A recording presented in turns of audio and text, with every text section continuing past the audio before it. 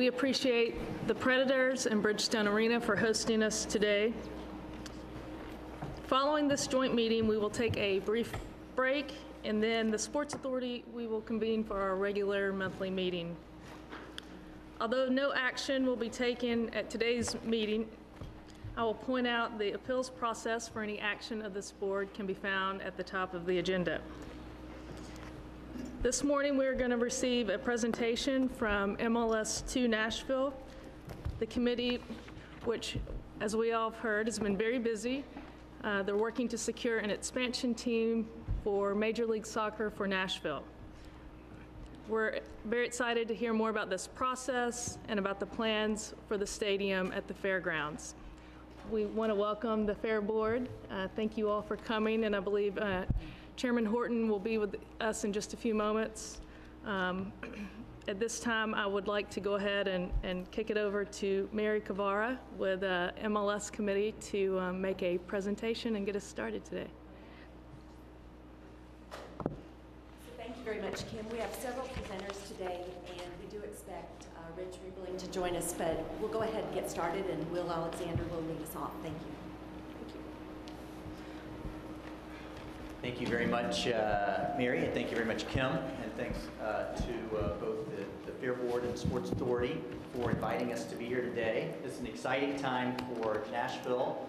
There's been a lot of, uh, of work done so far in the MLS bid and some, some work to do ahead, but uh, this is a, uh, it's a great opportunity to present this, and we look forward to uh, sharing what's, uh, sharing what's happening on the MLS front and uh, taking some questions after the presentation. I'd like to Okay. begin. Here's a, uh, here's an overview of the, uh, the fairgrounds and the fields and some of the, some of the new development that will, uh, that will take place. And Rich will, uh, will address some of this when uh, we're able to see him. And what I'll do is get ahead and dive into talking about the, uh, the bid itself and, uh, and the MLS opportunity. And Will? Yes. um, Can you just take a step back just a moment? Um, The committee pre- uh, presented to the full council, that was uh, Monday evening? Correct. And, um, and so essentially, my understanding, I think it's generally the same presentation, but wasn't, I know everyone has busy schedules. I'm not sure that um, the board, the boards were familiar that um, you all were present and did um, talk with the councilman. on Yes, yeah, we did, we did on, uh, on Monday evening, and this is the identical, uh, the identical presentation. And uh, we welcome, welcome the chance to, uh, to make the presentation again for those of you that didn't get to see, uh, didn't get to see it on Monday. The, uh, the MLS National Committee is the group that I represent. And uh, it's composed of about 160 business, civic, and sports leaders from around uh, the Nashville area, and all have the common goal of uh, bringing a Major League Soccer team to Nashville. Lily Aldridge and, and uh, Eddie George are the honorary co-chairs, but most of the members of the group are, uh, are not household names. And it's, uh, it's important that, uh, that we recognize that the, the MLS bid by our city began as a community effort. And a big reason why we wear, why we've made so much progress and we're in the strong position where we are today is due to the prominent role that the community has played in this, uh, in this bid so far. Let's talk some about, uh, about the sport of soccer. Now, soccer is the most popular game in the world by a, by a big margin. Uh, over 3 billion people watched the 2014 World Cup. A full uh, one-fifth of people that live around the world are soccer players. But soccer is not just popular abroad. Soccer is a very popular sport in the United States. 113 million people in, in- living in the U.S. call themselves pro soccer fans. And more people watch the U.S. Uh, the U.S. team play in, in the uh, last men's and women's World Cups Then tuned in for the World Series and the NBA Finals. Soccer also has a lot of room to grow because its fan base is very young. As you can see, soccer is the number two sport in the U.S. for 12 to 24 year olds, and soccer is- is hugely popular among some of the uh, fastest growing demographic groups in our country. Now, the next question is Nashville ready for uh, Major League Soccer? Is, is, is soccer popular in Nashville? Absolutely. The big headline number here are the two games that we had this summer that broke, uh, that both broke state records for attendance and for soccer. Over 100,000 people attended games at Nissan Stadium. Both the, uh, the U.S. Panama game in uh, the beginning of July and then at the end of the month, the, a game between two English Premier League teams. There are 40,000 approximately youth soccer players in, uh, in the Nashville area, and the number of high school soccer players have been growing at a steady clip too. So the MLS is very aware of the interest in soccer in our community. If you can see, Nashville is also uh, named as a candidate city for the host the 2026 World Cup. Nashville is seen as a soccer hotbed around the country, and that's a big reason why they're, uh, they're interested in, in, a, uh, in a team potentially in this market. Now, Major League, uh, Major League Soccer. Major League Soccer was founded in 1996 and it's now an established and, uh, and fast-growing league. The regular season runs from March to October. Attendance at MLS matches is the third highest of any U.S. pro sport behind only the NFL and uh, Major League Baseball at about 22,000 fans a game. MLS fans also are young, like soccer fans in general. You got a full half of them are in the 18 to 34 bracket, meaning there's a lot of room to grow. And MLS games are broadcast nationally. The, the MLS has never been in a stronger position than it, uh, than it is today. Just a couple weeks ago, they signed a new uh, $700 million apparel deal with Adidas, which is almost five times the, uh, the, the previous contract. You have uh, 25 owners, MLS owners collectively own 25 teams that are in U.S. pro leagues and other pro leagues around the world. There's a lot of interest in the league. The, uh, the best watched MLS All-Star game was this summer, and uh, the most viewed MLS Cup, which is the championship, was uh, December. So this is a, uh, a hot time for the league, and the league is, uh, is really performing at a high level. Here's the current Major League Soccer footprint. You can see the void in the Mid-South, and this is something that, uh, that interests the league and, and is a great case that Nashville. If uh, an MLS team were awarded to our city, we would be the closest MLS, MLS club for almost 13 million people living in parts of nine states. Another interesting thing about this map is that Atlanta is the, uh, is the, is the best performing MLS team right now, attendance-wise. It's just their first season, they're averaging 46,000 people per game. And uh, it shows that the soccer can be very popular in the South, and uh, that's a great uh, that's a great thing that the MLS has taken uh, taken note of also. So here's the current status of the MLS expansion plans. There are 24 teams. The league is planning to go to 28. 12 cities have applied for uh, the four expansion spots. Two teams will be awarded this December. Two teams will be awarded sometime in 2018. The new, the new teams that are awarded during this expansion round will begin play in 2020 to 2022. Most importantly, this is what the MLS says is their final expansion round. The league is, uh, is prepared to stop at 28 teams, and uh, that means that the window for Nashville to act to get an MLS team is now. The league has been very clear about their expansion criteria. Uh, they look for a committed local ownership group. They look for a stadium plan where the league is comfortable with the design and the location of the proposed stadium.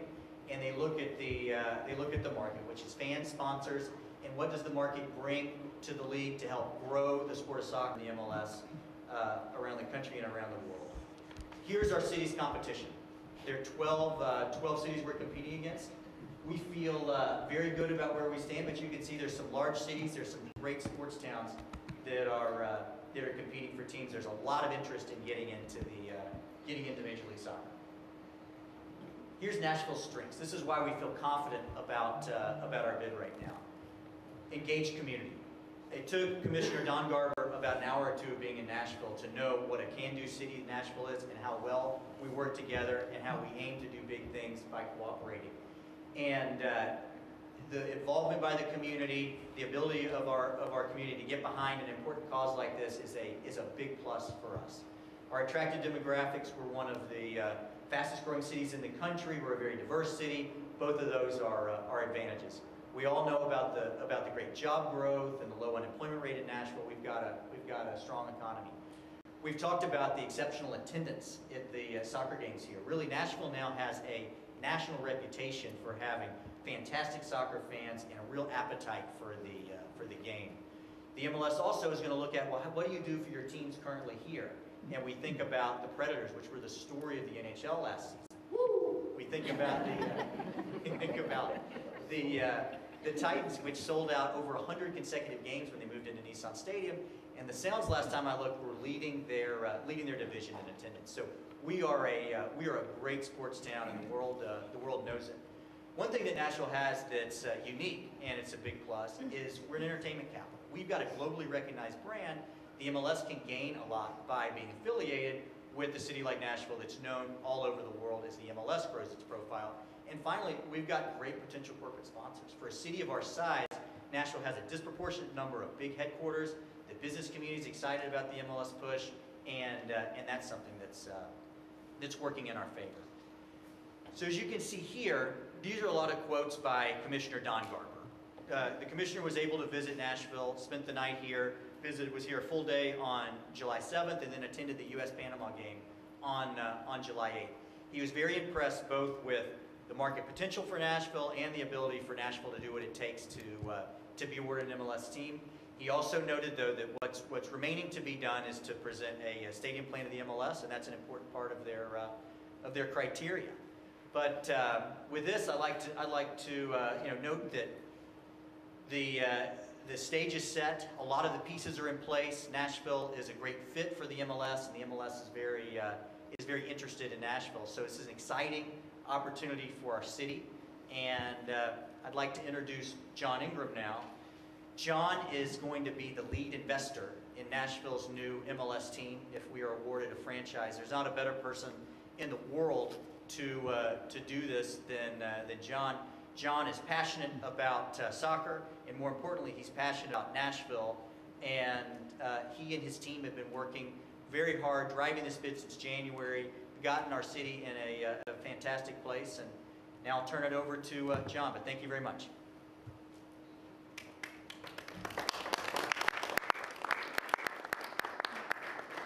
Thank you, Will, um, Madam Chair, uh, the rest of the Sports Authority and the Fair Board. I am really excited to be here. Um, and I'm, I'm excited uh, because I get to talk about something that I like, which is uh, potential win-win partnerships and, and win, win for, for our city. And, and I say our city because um, um, th- this, is, uh, this is my home too, and it's been my family's home since, um, since the late 30s. My, my grandparents had the, the good fortune to, through serendipity, make an investment in the, the textile company in the, in the mid 30s. And so my grandparents, um, who lived in St. Paul, came down to visit. And I think one particularly cold stretch in, uh, in St. Paul in the, in the late 30s, my grandfather turned to my grandmother and said, This is ridiculous. I said, This is only fit for a polar bear, and I'm not one. So we're moving to Nashville. And, and Nashville has been home for us um, since then. And, and, and I'm, I'm so excited to, to, to really to have, and I guess this goes, which is forward, Will, to the right, oops. Um, to, to, to, to have the opportunity to say, what do I, what do I see? Um, and, and, and I see the opportunity really for, to, to, to work with the city to do the next big thing for the city. And, and that's to bring the global sport of soccer to a globally branded city, which is, which is our home of Nashville. Um, and I know from, uh, from the um, uh, Major League Soccer's perspective that, that ownership matters. Um, and, you know, it, it matters to them that uh, not only that, that the ownership has got financial means, um, that's certainly important because uh, the expansion fee is, is quite significant and there's startup expenses and ongoing expenses to fund te- you know, team training facilities, all these things that will be in, in our future that will be the ownership's responsibility. But it's also important to them and something they care a lot about is, is the ownership's connectivity to the city. Um, and, you know, I, I'd, I'd like to say, I mean, I'd like to believe that that's an area where, where um, we get maybe a little extra gold star uh, because, because um, um, my, my family and I care, care deeply about Nashville. Been here since the 30s, and, and you know, I'm certainly planning on being here uh, the rest of my life. And, and it- Will has said, I, I think this is just a great opportunity for Nashville as well. Um, you know, Will mentioned uh, the, the, the great enthusiasm for, for ga- the games that, that, that we um, helped to host in, in July, the amount of youth soccer that is being that is played here, and that's only growing. I, I would say you can make strong uh, arguments for uh, around the economic development that's likely to happen uh, around the WeHo area um, if, if, if this stadium uh, trans, transpires, much much as has happened over in Germantown with the First Tennessee Park, and, and we were discussing earlier um, um, in East Nashville with uh, with Nissan Stadium.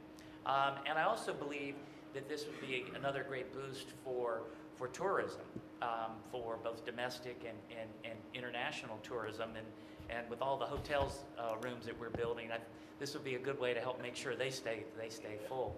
Um, but I would also say that um, I think um, there are probably 30 or 40 different languages that are spoken uh, around uh, around the city of Nashville in different areas, and and uh, they they would be different languages, uh, but there's one common language um, that's spoken in all those in all those places, and, and that common language is the language of soccer, because because every every one of those groups, their their home countries play soccer, and it, and it's a point of national pride um, for for them.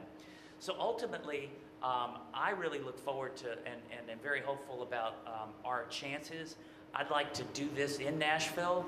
I'd like to do it for Nashville, and I'd like to do it with Nashville. And, and I think we're, um, we've got a, a really unique period of time right now to, to make that all happen. With respect to the, the, the stadium itself, um, I, I told the Metro Council uh, the other night that I always envision um, the, the, the stadium as a, as a dual-use facility, that it could host both um, MLS soccer as well as NCAA football. Um, and, and while they're only in, in an exploratory stage, um, I know it's something that Vanderbilt is, is considering. And at this moment, I might ask uh, Vice Chancellor and Athletic Director David Williams to come up and, and say a few words. Thank you.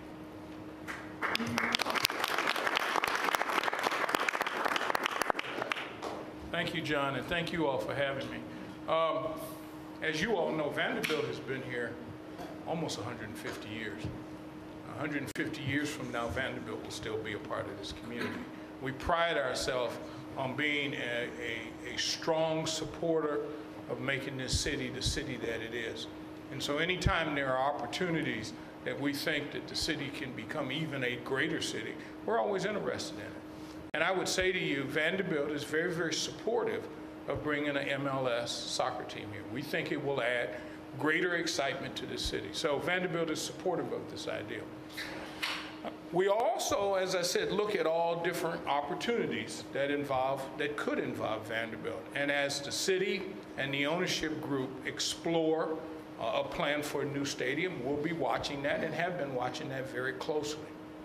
Uh, As that vision progresses and develops, we'll be very interested in working with the ownership group to see if, in fact, there is the possibility and potential for Vanderbilt to play football and soccer in that stadium. At this point in time, as John said, this is just exploratory, and we will continue to assess that opportunity. And if at the end of the day, we determine that this benefits this community, our fans, and our university, we'd be happy and open to discussing further uh, accommodations and further situations and partnerships. I want to thank you for having us, and uh, I'll turn it back over to John.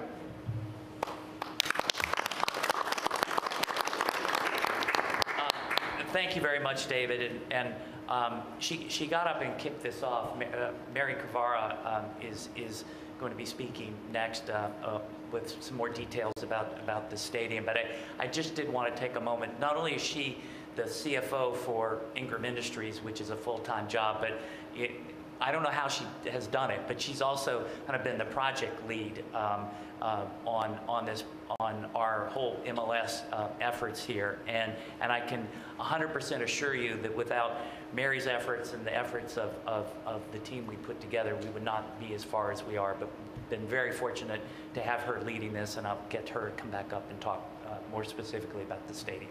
Thank you. Thank you very much, John. That's very kind.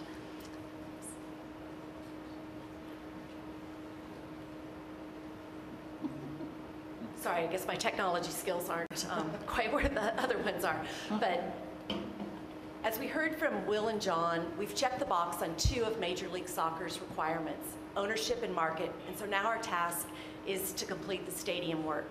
As Commissioner Garber indicated during your, his visit last month, we must secure financing for a soccer-specific stadium, and he made it clear that no city would be approved without a soccer plan intact. So the league believes that a soccer-specific stadium is important for several reasons. A stadium designed for soccer will have the correct field dimensions and result in uh, being safer for the players. Professional sports teams, just like our businesses, also need viable revenue streams in order to have long-term success. And just like our hockey fans here at Bridgestone Arena, soccer fans want an authentic experience. And a stadium has benefits beyond just soccer fans. Nashville could benefit from potentially collegiate and other youth events, as well as other community and entertainment activities. Early on, our uh, ownership group realized that we don't have experience with stadiums, so we went out and hired um, experts. And the experts are Icon Venue Group. They're based in Denver, Colorado. They have extensive experience in this area, and so they serve as an owner's representative. And in fact, they've been involved with 11 of the MLS stadiums and are currently working with four of the expansion bid bids. We've been diligently working on a stadium plan for the past several months, and on Monday, we unveiled the vision for the stadium, and again, we'll share um, those renderings with you this after, or this morning. So as a CFO, I know my next question would be, what's it going to cost? And to kind of put that in perspective and let you know where we are in that process, several MLS teams have recently constructed soccer-specific stadiums with costs ranging from about 160 million to over 350 million in Los Angeles. The 160 was uh, Orlando City. In addition, several of the expansion bid cities have announced cost estimates from the low 200s to about mid 200 million. Soccer, or excuse me, stadium costs are going to be unique to each facility. They're going to be impacted by many variables, including design, location, size, among other factors. We've spent a lot of time working on the estimated stadium cost, and we continue to work on this part of the plan. We expect to have the details soon. We'll also continue to work with the mayor and her team on what the details of a private-public partnership uh, may look like, and we'll come back to you within about 30 to 45 days. As you may recall, back in January, the mayor identified the Nashville Fairgrounds as a site for a Major League Soccer stadium. The preliminary site plan for the stadium will show that it's located in the elevated portion of the fairgrounds west of the Speedway. The plans also incorporate the fairgrounds' current programming. On Monday evening, Ron Sally, who's a senior vice president with Icon Venue Group, uh, presented the stadium features. He's unable to join us today. As I walk through some of the stadium features afterwards, if you have questions, please let us know, and we'll work with Icon to make sure your questions are answered, because in no way am I pretending that I have the knowledge that Ron does. So we'll start with a look at um, the site plan. So as you look at the site plan, there's a couple of features I want to point out. First of all, as new stadiums have been developed in today's age, ride sharing has become very important. We don't know exactly what it's going to look like in the future, but you can see there's two hubs that have been identified as potential ride sharing locations. Also, um, in one of my other jobs, I serve on Moving Forward's uh, Revenue and uh, Finance Task Force's chairperson, and we released the report yesterday, so talking about transit. And on Nolensville, there's a potential future transit hub, which is adjacent to the stadium site. As you turn towards soccer-specific items, in the green, you could see one of the traditions is marching into the stadium, and this is where the uh, supporters could march. And the other buildings shown in the white indicate kind of the current fairground programming, just intended to represent the square footage of- what's required to continue that. We have not made any attempt to identify what the specific uh, buildings would like or anything. Another item that was very important to our team as we went through the design process was the importance of an authentic Nashville venue that's integrated with the surrounding area. We did not want this to look like a spaceship had just been dropped into the neighborhood. That's, that's not who we're about. And so the plans, early plans would be using brick and other authentic materials to kind of show the historical architecture of the city. And that's what these two uh, elevate, elevations illustrate. The next view is the aerial view where you're southeast looking toward downtown that shows the proximity to, to downtown and what a potential view could look like in the evening. The plaza entry view is created so that as you would walk into the stadium, you have a direct view of the field as well as uh, onto the lower bowl. The plaza could also be a gathering place for fans as they come into the stadium and, and others. Um, and the space could also be used to accommodate other public and civic gatherings. But a nice uh, wide open area is planned here. This next slide illustrates what a soccer configuration would look like with the scoreboard at the west end of the stadium. The design contemplates prime soccer sightlines based on the pitch or the level, level of the seating so that virtually every seat in the house has a very good view of what's happening on the field. We also believe that the stadium could become a destination stadium and be able to host other larger events and other matches, such as uh, some of the ones that we recently hosted at uh, Nissan and other places.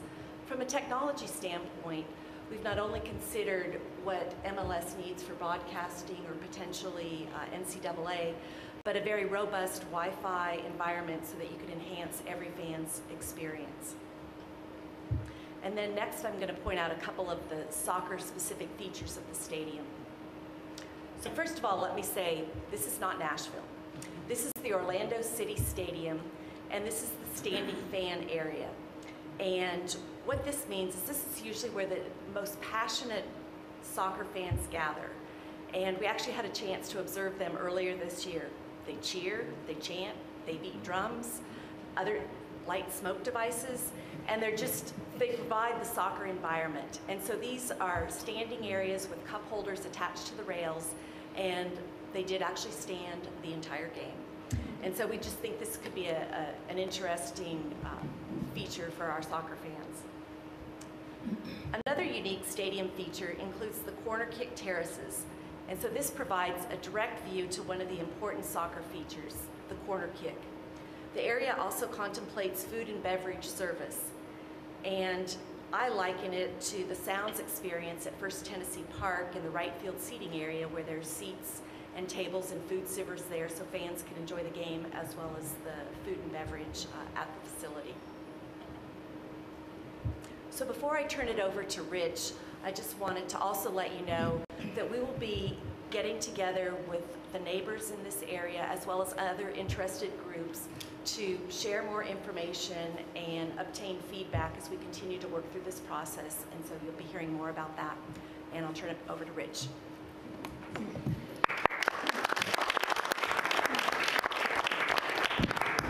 Good morning. It Seems like it's been forever since I've been here. Getting withdrawals. First, let me apologize for, for running late. I, I- think original plan was for me to sort of kick it off, and um, when I was 15, 20 minutes late, I think it was good of you to go ahead and get started without me. And so I, I apologize. I, I usually, uh, I'm a little more prompt than that, but uh, uh, I had a uh, higher authority sort of detain me, so if you, if if that's okay. Um, Secondly, I, I want to thank you for, uh, for hosting this joint meeting. I think sort of unprecedented, kind of as I looked around uh, in metro government. I think to have two committees, two, two groups have already sort of worked together on a project like this and actually kind of have a public meeting in which they uh, sort of hear this presentation at the same time. So thank you, Chairmans Horton and Atkins, for sort of arranging the schedules and sort of making this happen because I think it is, this is an important issue for the city and it does involve um, you know, more than just the sports authority and or more than just the fair, fair board, but both if it's going to work. Uh, and, and it's, I think it's good that everyone gets to hear it at the same time and, and hopefully uh, you all get to know each other a little bit. And I'm not, you know, if you haven't before, had a chance to meet each other and go on. And Rip, I do not think that was your picture in the rowdy section of the soccer game. They told me it was you, and I said, I don't think it was you up there. So I, I, know you wouldn't be up there being rowdy at a, at a, at a sporting event or anything like I may have been. May have been. Ah, Maybe I was wrong, maybe it was wrong. Um, So let me, let me close on this with, with just a few comments, and then obviously uh, any questions that you have that I can help answer with what. And I think as you've, as you've heard, we, we don't have all the answers today by me, by any means. Uh, But we thought it was important uh, to get uh, this discussion started in a, in a positive way uh, and, and, and, and sort of everyone kind of get a sense of the concept of what we're trying to do uh, sort of before we get into the devil of the details. Uh, I think it's just a, a- courtesy, if nothing else, to let you all kind of know where we're headed on this and, and to be sort of ahead of the game. So um, I think the work that's been done thus far has been um, sort of monumental in scope in such a short period of time. Uh, You know, I, I think when we first started talking about, uh, I think when Will Alexander and Ambassador Hagerty first came to see, see me about their interest in soccer, you know, it was sort of a, thanks, nice guys, you know, kind of pat them on the head and say, thank you, we appreciate it, it's a great idea.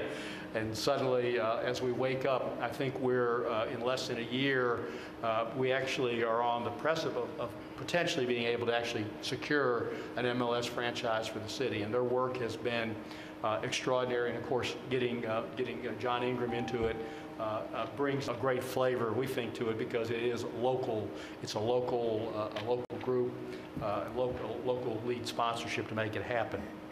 So uh, kind of what's happened has been uh, at a, at a fast pace, and we're going to have to continue on a fast pace uh, if we're going to be able to, to secure this franchise and, and, and see if we can get a stadium plan approved prior to um, the the board, the MLS board meeting in, in, in December. Uh, You know, the mayor has, has, has said uh, uh, unequivocally that she would love to see this happen, uh, but it's got to be, you know, the details it's got to be good for this, got to work for the city and work for everyone. Uh, And we really do believe that the fairgrounds uh, is the right, is the right location for this for lots of reasons, um, some of which include, uh, maybe primarily being, including being a major catalyst uh, for what we see as a major renovation of that, of that property. Uh, We have started that process uh, slowly because we're doing a lot of work. You see, you see the field, the drawing for the soccer fields and the play fields on the fairground property, which we think is sort of transformative in that it, you know, takes up, you know, concrete space and puts in green space that can be used year-round by a lot of, a lot of the citizens, as well as being designed so that parking can go there. So there's been steps already made to redo the fairgrounds, but we think that putting a soccer facility there um, would really, um, really be a Kickstarter to make that happen at a much more rapid pace.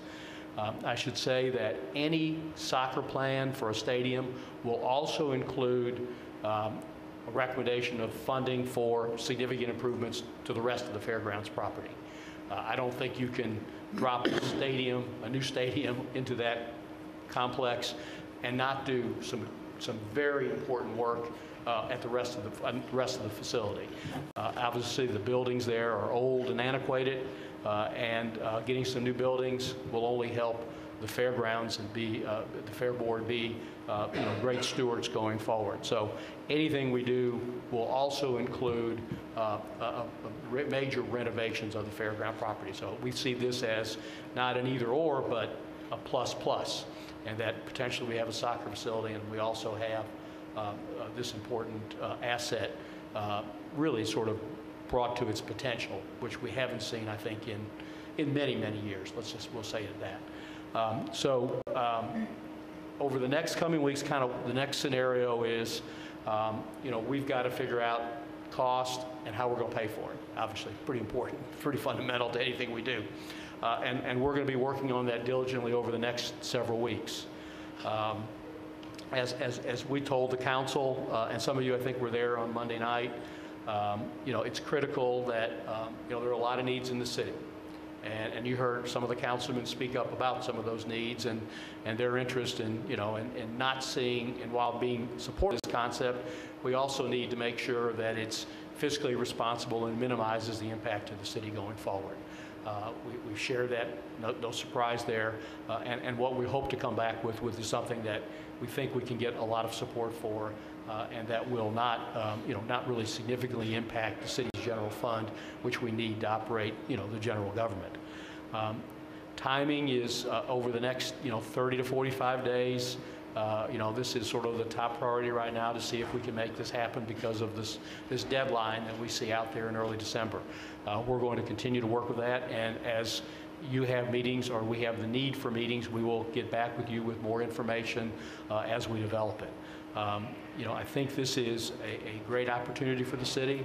Uh, I, I think we all saw, um, um, I guess I'm going to have to hear a, a shout out again in the, in the back in a second with what I'm getting ready to say. So I'm giving him a little, a little alertness to that. But I think what we all saw, the importance of sports in the community. We saw the city really coming together in the, in the spring with our experience with the, uh, with the uh, NHL playoffs. But I thought sure I'd hear another Thank you. I, I- I programmed that so well, and I was so shocked that I didn't get it. Uh, but- And, and I think, and and equally so with our, with our friends across the river, the Titans, I think we're all very, op- very uh, cautiously optimistic uh, about, uh, you know, a great season to come from them and some of the experiences that we've had in the past for that. So we see soccer fitting into this, into this environment, this community very well. Uh, But it's got to be, a it's got to be a transaction that makes sense for the city, and, and obviously it's going to have to make sense for, for the ownership group. That's what we're working on, uh, and uh, we will, we will have more details and continue to work with you in the days and months ahead. So again, thank you for this, uh, this opportunity, and, and look forward to, uh, to seeing a lot more of you over the next uh, 60 or 90 days. Any questions for any of us, we appreciate very much. Thank you. Thank you, Rich. We appreciate remarks, and I'm sure um, there might be a few questions out there, so at this time, it looks like Alicia's handing out, um, I know my eyes uh, couldn't see some of the material, so that'll be helpful. And at this time, Margaret, do you want to start us off? Sure. Yep. Okay. Um, So how many games are played in the state? Home games? I believe there will be in the neighborhood of 17 so- uh, home uh, MLS soccer games. So that brings me, of course, to the next question about dual purposes and other things that will be done in the stadium. And I'm, I'm interested myself in seeing a National Women's Soccer League team. um, And I'm familiar with at least, I think, four teams that play in MLS stadiums. And recently, I think with the Orlando City opening, they opened with the MLS team and the Orlando Pride. Right. And, which is the Which is the women's women's team. team, yes. And so, do you know how that came about, how they were able to get the MLS team, get the stadium, and have the women's team also part of that opening I know that it, I know that it's exists because, um, because we visited Orlando. I'm not familiar with exactly how they, how they pulled it all Well, of together. course, I have no idea either. And, and where I'm going on this is that I know there's been so much, so quickly, efforts to get these three prongs together with the stadium being now the most important piece to get the MLS team together. And it's taken such a young person's effort to get this done.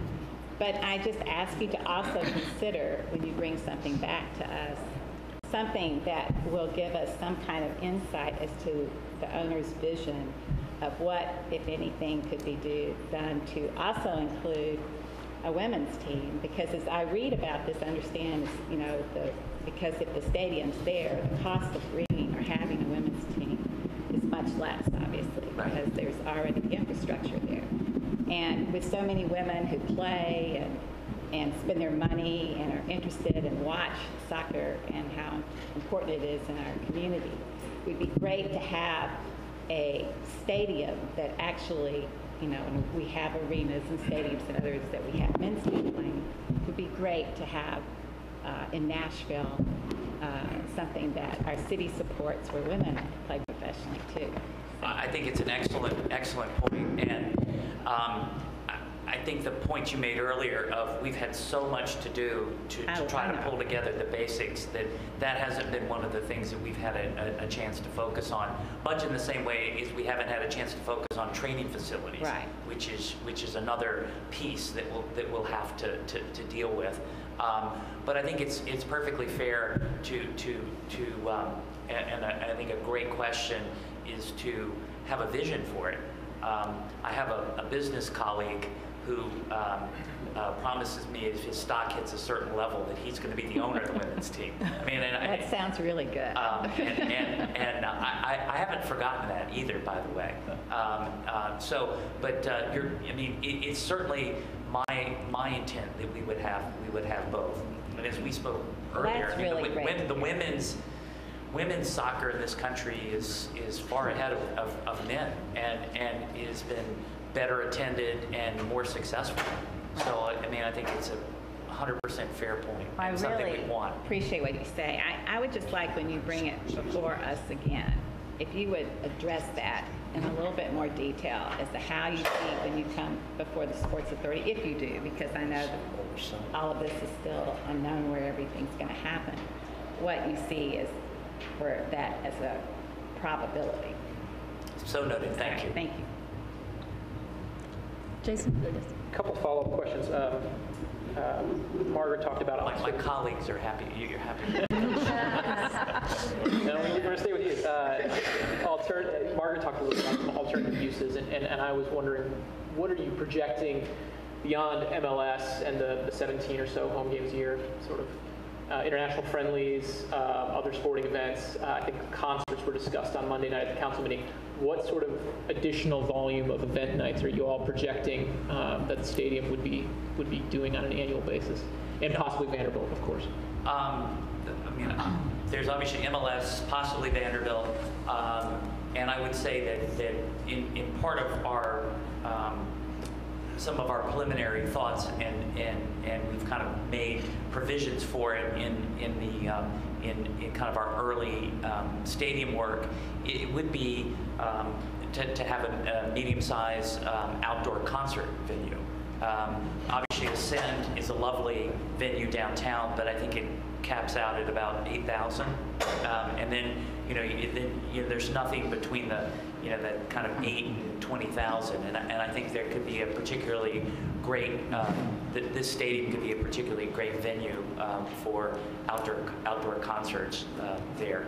Beyond that, you know, i- it's, it's, it's hard for us to have projected beyond that because, I mean, there, there are issues like uh, natural grass versus, um, you know, turf um, that would, that would play into those kind of, those kind of decisions. And those are, those are issues that, that we'll have to wrestle with, um, you know, variables that we'll have to, have to solve for. But um, we- we'd like it to be active, uh, to be a, you know, a very active um, uh, facility. So, so we'll be working on that.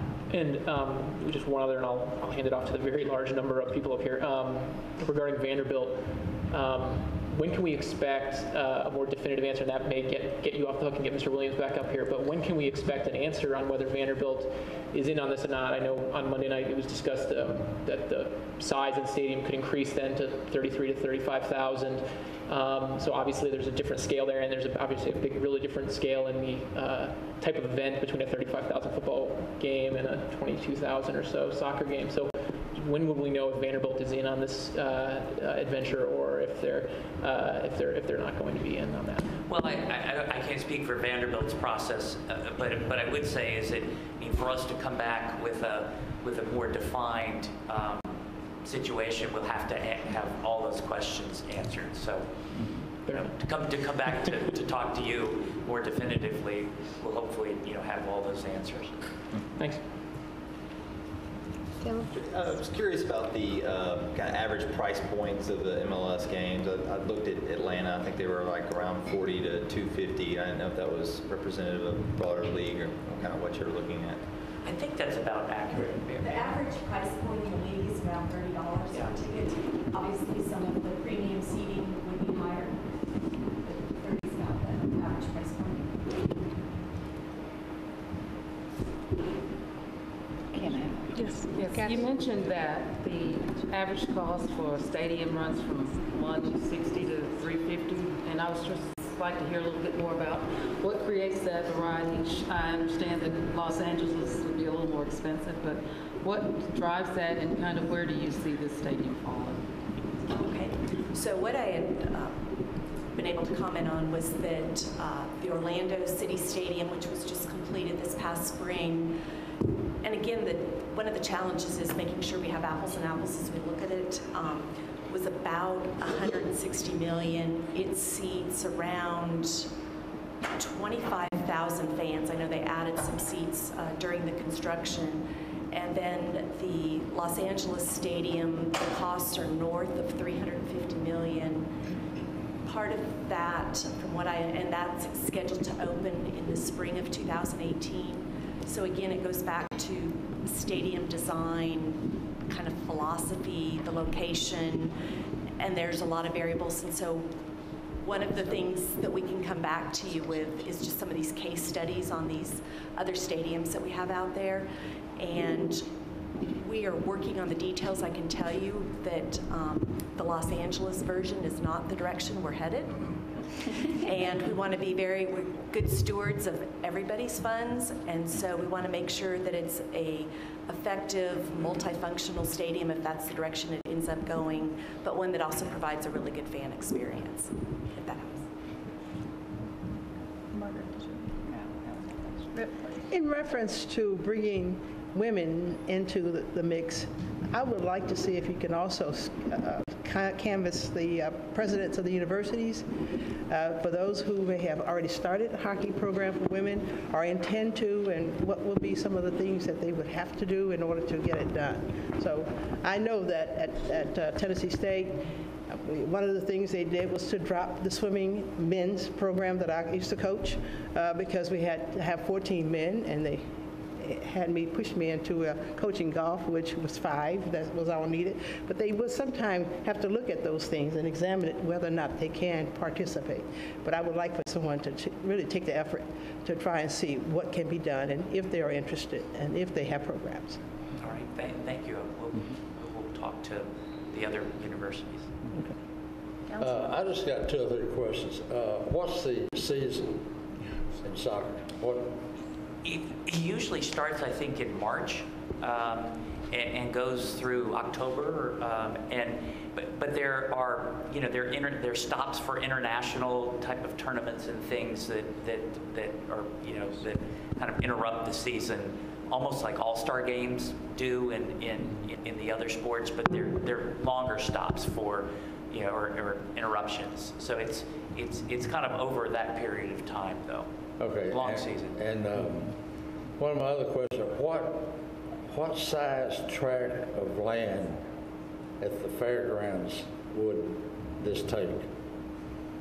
I think there's, uh, is it 80-something acres out there? One hundred seventeen. One hundred seventeen acres. So how, how much tract, how much tract would this take? I will have to get that for you. Our person from Icon is going to answer that, but we've got that. I'll get that. we'll get that answer for you. Okay, and then I guess uh, uh, my next question would be that, uh, has the city uh, determined how much dollar that the city would have to put in this?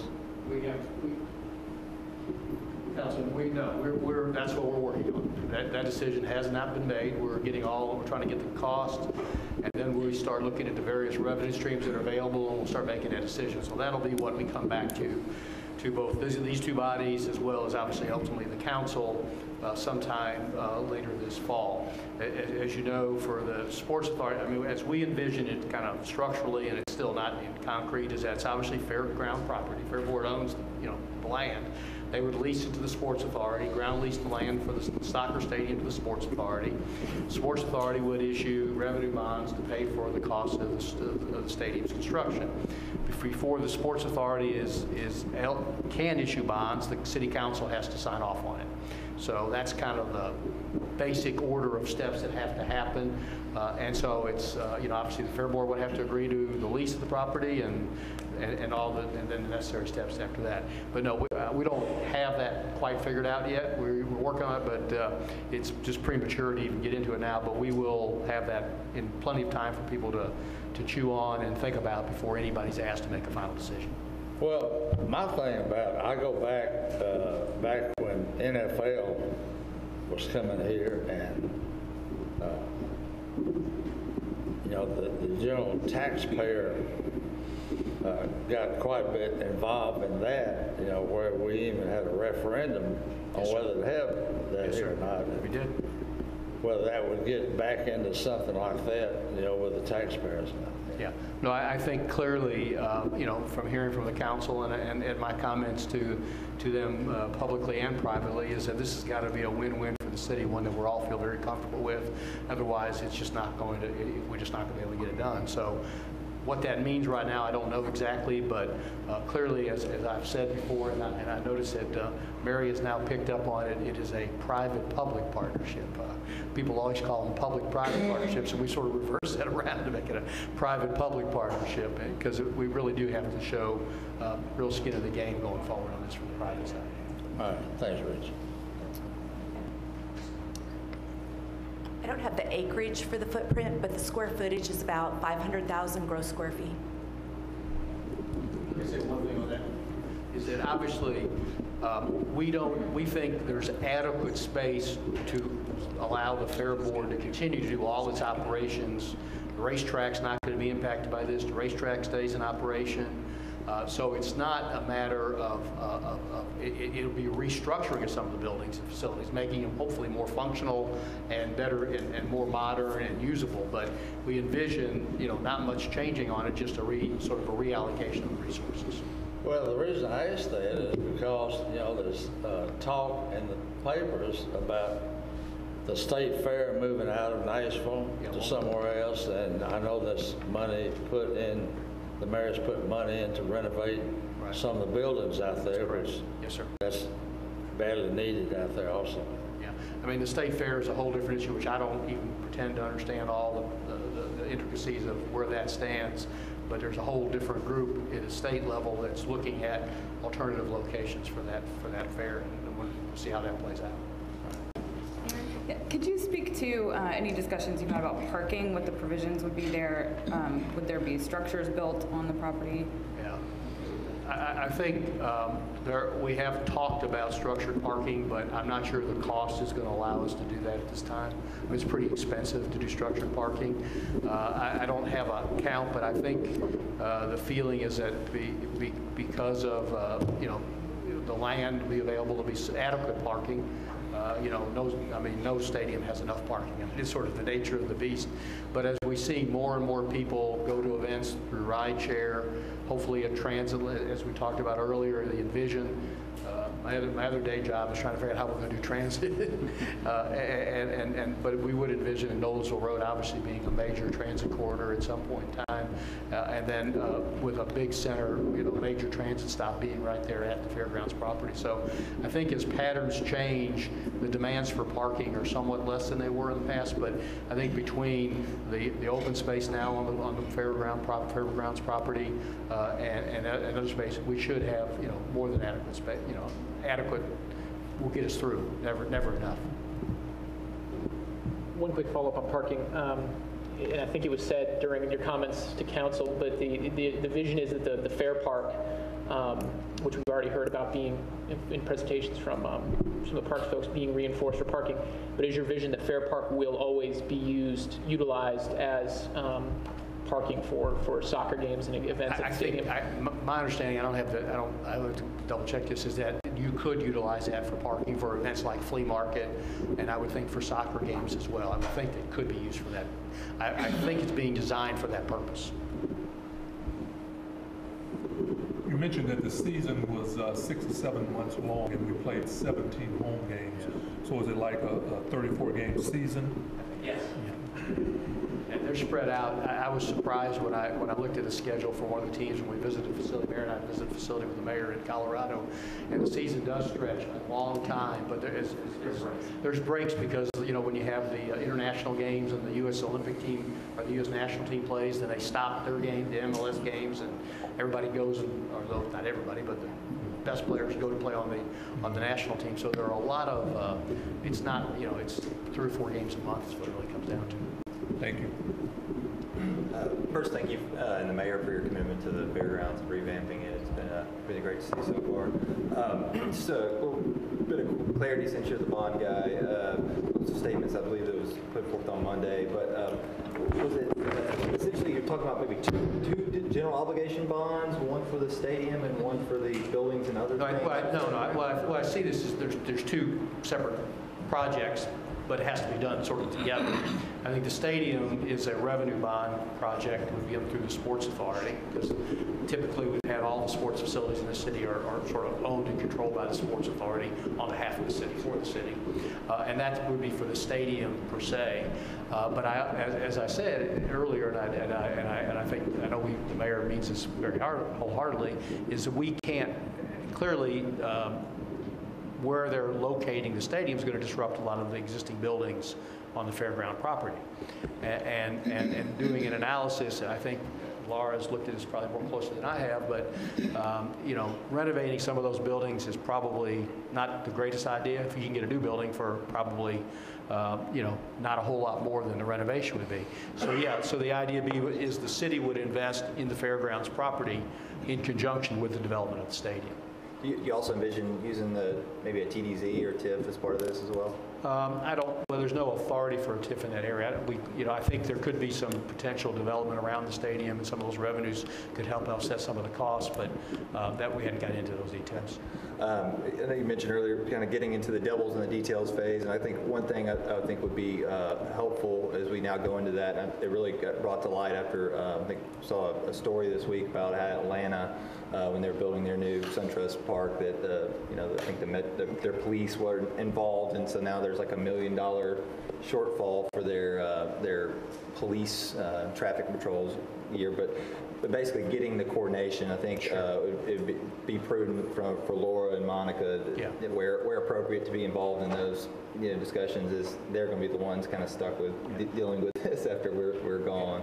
Well, One thing to remember is while we, we do need to move fairly quickly in terms of getting approval of, of a- a stadium plan in order to meet the MLS schedule, we're not under a immediate deadline to start this construction. Because as, my- as I understand, we're looking at 21, right? 2020? So we're, we're not looking at 2021 before the, before the, the league would, the team would start playing in the stadium. So we have time to really get into all the details of the project as we go forward. I guess one of my concerns is, you know, we start showing, um, one, the history of the property, as you're, you're well aware of from your previous fairgrounds battle scars, but, I you don't remember any of those. What do you mean? What do you refer start to? showing, you know, new, new uh, buildings and replacing existing buildings, you know, people get nervous and, um, you know, making sure we're coordinating, uh, Well, I you think know, we've- and the messaging around that. Well, I, I agree 100%, but I mean, I think what we, we would say to, to, obviously, there needs to be a lot of di- discussion and, and input, I agree. But this is the first time an administration's put any money into the fairgrounds in, as, as long as I can remember. And, and we're, and the mayor is committed to that, demonstrated that by putting dollars, making dollars available. And we're telling, we're saying, and we state that we can't go forward with a stadium project unless it also includes funds for the, uh, the, uh, the fairgrounds continued, uh, you know, reinvestment in the fairgrounds. I mean, we're not trying to take away anything there, we're just trying to make it better for what we, what we're serving today. Yeah. And then I guess lastly, just, you know, we're, you're thinking through those things and you're coordinating with Laura, I mean, just, uh, you know, one concern I have is, is we're, you know, we get this done, we're doing things, we're going to be interrupting existing operations, existing events, you know, considering how that works with our, our operational finances and, if, you know, how to fill that hole in, the- in the kind of meantime. Yeah, I mean, I, obviously, we've had, I've had several discussions with Laura, and, and obviously, anytime you do something that's on a scale like this, it's going to have, a- it's going to have an impact. Uh, But, you know, it, you know, again, I think we've got to look past the short period of pain and make it work to the best we can, and think about what the end result is, which we think will be, uh, you know, a tremendous facility for the city, uh, a great improvement over the existing fairgrounds facilities, and, uh, you know, a new asset for the city uh, and its, and its citizens to use going forward. Thank you. Rich, can I ask a question about bonds? Sure. Just in general or something Just- just in specific? Just in general? But on the assumption that, that the city will issue bonds, this all comes together and, and we authorize those bonds, are those proceeds for the construction of the stadium or also for the other improvements you anticipate at the fairgrounds? Currently, my thought is just for the stadium. The- The, the Sports Authority role would be just the revenue bonds for the stadium cost. And some, maybe some public infrastructure around the stadium, but s- basically the stadium footprint. The, the, I would envision like we do on most other city assets, with, that doesn't, you know, except we would issue general obligation bonds for the improvements for the fairgrounds. So separate, separate track. A lot of coordination, as Caleb pointed out, would have to be done to make sure that all works together, but, but it would be two different, two different bond structures, as I would say. It The, the, the GO would be just part of a normal city, uh, public improvement project that we do every year in terms of, for sidewalks, roads, schools, libraries, and- and the like. Thanks. Lisa? Um, It's an inquisitive group. I, uh, I concur with Margaret about having a women's team. I think that would be wonderful, and I know some women's soccer coaches that might be interested. Uh, When I uh, first saw MLS to Nashville, one of the first articles, uh, I was not a huge believer. Uh, But I saw Will's presentation to the MLS. I've seen the community get behind this, and I just want to commend Will. That presentation, uh, it was excellent. I am a believer. Uh, The community, how we've come together. So I just want to commend the whole team and Will's leadership on that. That is, that was an excellent presentation. It's just very nice to have you guys represent our city at that level. And I think he's made some MLS believers. I, I- I think they've done an extraordinary job of getting us to where we are today. A lot of work to get done yet. I mean, if, I, I I had the pleasure of meeting with the commissioner when he came to town, and, and, you know, you can, there's, this is not talk. They're very interested in Nashville, if we can figure this out. A lot of work to do. But they, uh, the work that they've done thus far, the local ownership sponsors, um, just the excitement over Nashville, the buzz in the, wor- the sports world as well as the rest of the world. Uh, We, we, we, this is, this is not a pie in the sky uh, uh, where, where we were a year ago. This is something that can happen, uh, but, you know, we got to figure out how to make it happen. But I do have two questions. One, with the venue group, with the Icon group, did they come and look at the city and think, this is a great place for soccer, we could do this here, do that there, do that, or did you just say, come draw a soccer stadium right here? I- I, I think, uh, I think we pretty much told them the fairgrounds. I mean, Just to be candid, I, I think we have looked at this for lots of reasons, and, uh, uh, you know, it it seemed to us that, you know, the, the criteria for the league was you needed to be sort of downtown, near downtown. Uh, And, and as we look at um, all the other development that's occurred in the city, um, we, we, we as a city, not the, really the team, said, you know, if we're going to sort of be involved in this, um, we think it needs to be uh, not in this, you know, the heart of downtown, but we'd like to see some of this development know, and city participation in other areas a little bit away downtown. So we sort of are still in the criteria close to downtown, but um, we see it as, a, as an ability to rein, reinvigorate and reinvest in our fairgrounds property, as well as sort of, it, it's sort of, I mean, just kind of, I mean, culturally, it sort of is at an interesting intersection. You've got two intersections there, which means access is pretty good. But from a, from a cultural perspective, as the city grows and evolves, you know, you sort of have, you know, as I say, you've got, you know, Nolensville Road with a lot of uh, new Americans, population, big soccer supporters. I mean, that's their, that's the number one sport. Uh, as well as, you know, you still have, you know, really basically Wedgewood, Blakemore, which is sort of West Nashville. So it's kind of a convergence of, uh, of really sort of Nashville. And so we think for a lot of reasons, it just seemed to be the right, right location. So um, I think that Icon was basically, said, let's see how it can fit on this site. Now, if they had said, there's no way it would work there, or the commissioner or the MS, MLS said, you know, there's no way to go there, that would have been a different story. But, but they all seem to be sort of this, this location and sort of have, uh, I guess, bought into the vision of what this redeveloped property could mean for um, existing users of the fairgrounds as well as for, for new users. And my other question about corporate sponsors, and Will talked about the potential for corporate sponsors, just for my timing, and I haven't done this before, um, when you come back and you say, here's the private and here's the public investment, does the private start with, can we, are corporate sponsors in that beginning period of construction, or does that come later? Um, It could be both. Okay. Uh, And I, and I think, you know, that's, you know, you sort of divide up the revenues to pay for the facility, and that's part of the negotiations that we will be doing. And I'm saying sponsor, I should be saying investment. Investment. A corporate investment. Talk- you talk about like the naming rights or something like that? Yeah, and from the ground, I mean, before it's built. I would think that they would try to get naming rights before the stadium is built. Yeah, I mean, that would be part of the overall cost, you know, for the team and, and the project. Thank you. Are there any, yes, Jason? I'm sorry, just going back to Will, uh, but just following up on some of your comments, Caleb, I- looking forward to getting more details, and I know that we don't have all those details today, but what I think we've we've heard so far is a structure of Fair Board leasing to the Sports Authority, and then ultimately the Sports Authority would have its own lease with the MLS team. And so, in that process, I, I just need to stress that as, as one member of the Fair Board, the Fair Board has a long relationship with, with its stakeholders, with the racing community, with, with the flea market vendors, some of whom have been there for, for years and years and years, um, other longtime users of the fairgrounds. And, and then, of course, there's the, the Wedgewood Houston neighborhood, which, as a resident of Wedgewood Houston neighborhood, I think is already a tremendous, great neighborhood right now. Um, I'm really concerned and want to make sure that there is still mechanisms in place for the Fair Board to be involved with relationship with any MLS team and ensuring that, um, with all due respect to the great folks on the Sports Authority Board, Now, From an operational standpoint, we clearly. understand that there- the Fair Board is still going to be involved with that because we're going to be hearing from that community a lot. And- And and the Sports Authority just doesn't have the experience dealing with a very large stadium of that size in- directly in the middle of a residential neighborhood with, with also long-term uh, relationships with the, with the racing community and the flea market folks. And so I just want to make sure and understand that, that, that there's going to be a balance there where it all comes together. There has to be, otherwise it doesn't work. I mean, operationally, the, the, the- the MLS stadium operator has to work with the fair people, otherwise it's not going to work. So I'm not trying to say that there's, a- that the lease with the, uh, the lease is really designed to, to, to structure the, you know, how, how the revenues flow and, and and who's responsible for what.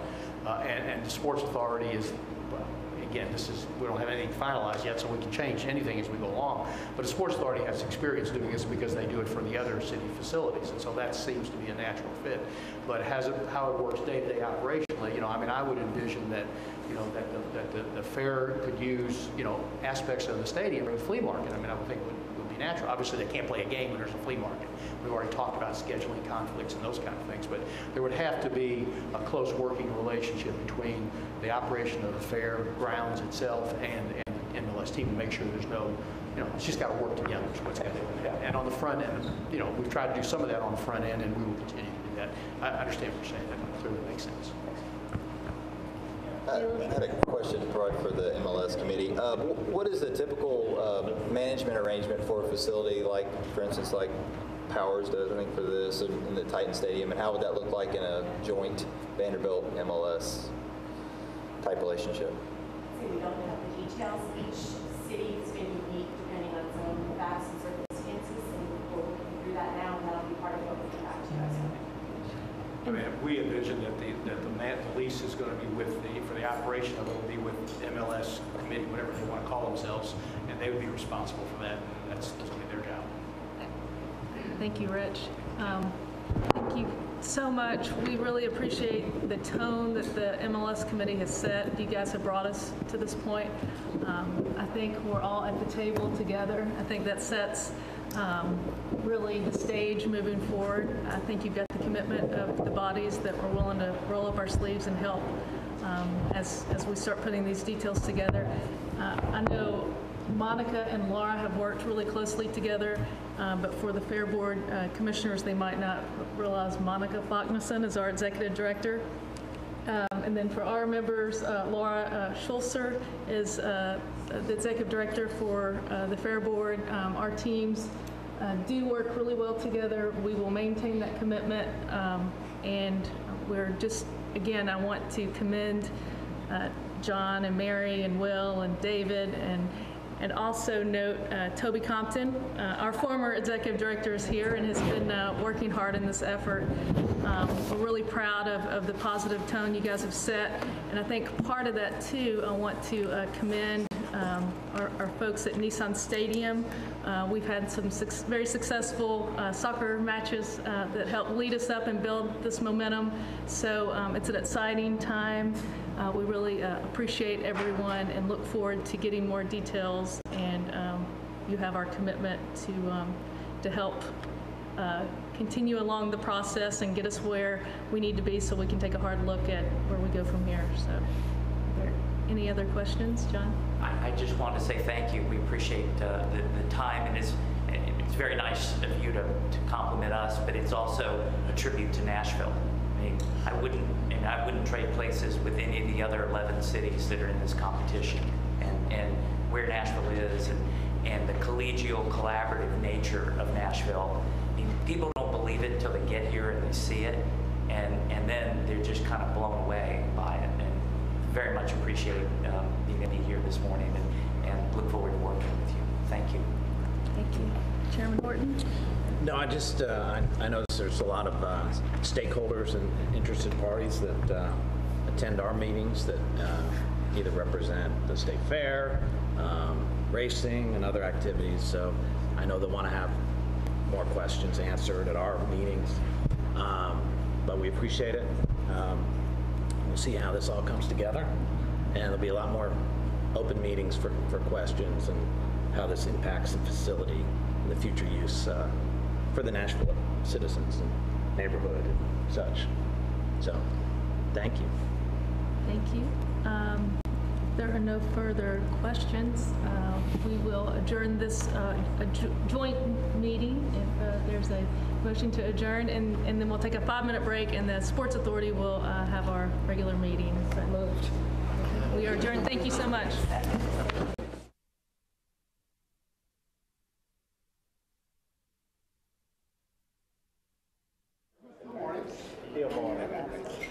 Welcome back. Uh, I would like to call our regular, uh, regularly scheduled monthly meeting for August for the Metro Sports Authority Board of Directors to order. And as you know, the appeals process for any action of this board can be found at the top of the agenda. Before we begin our formal agenda, um, we are very delighted to have two very special guests with us today, um, two members of our council, uh, Council Lady uh, Johnson, Council Lady Allen, for a special um, presentation. We really appreciate your time. We know we've uh, kept you here a little bit later than intended, so thank you.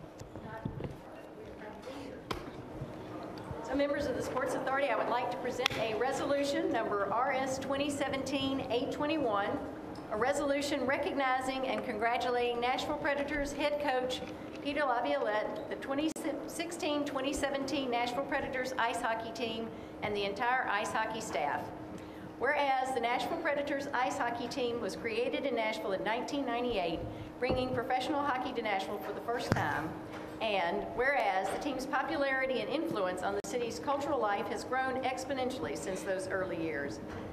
And whereas the Predators have contributed significantly to the growth of Nashville through both their playing on the ice and their influence on the growth of youth hockey through their many programs, including Goal, Kids Club, Glow in the Dark, Open Skate, and Bridgestone Arena, Nashville Junior Predators, Street Pride, Hockey Plus, Hockey Rules, Predators Cup, Coach's Corner, Taking Hockey to the Streets, and their support of Nashville's two regional ice centers.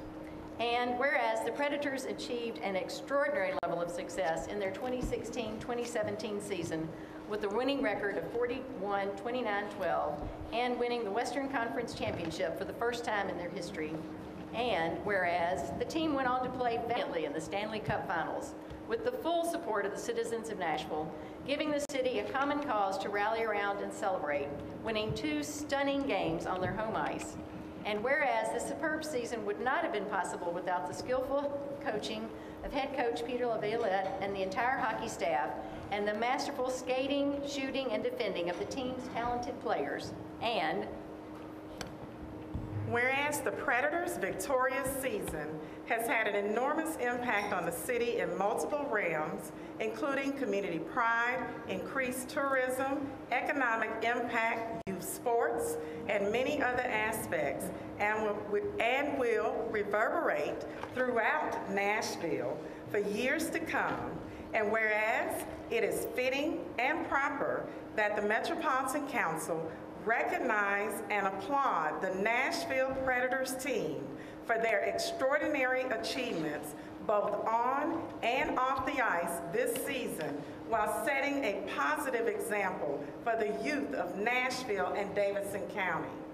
Now, therefore, be it resolved by the Council of the Metropolitan Government of Nashville and Davidson County, Section 1, that the Metropolitan Council, on behalf of the citizens of Nashville, thanks the Nashville Predators for their excellence in athleticism, teamwork, persistence, grit, and for the joy of supporting their efforts in a united community spirit.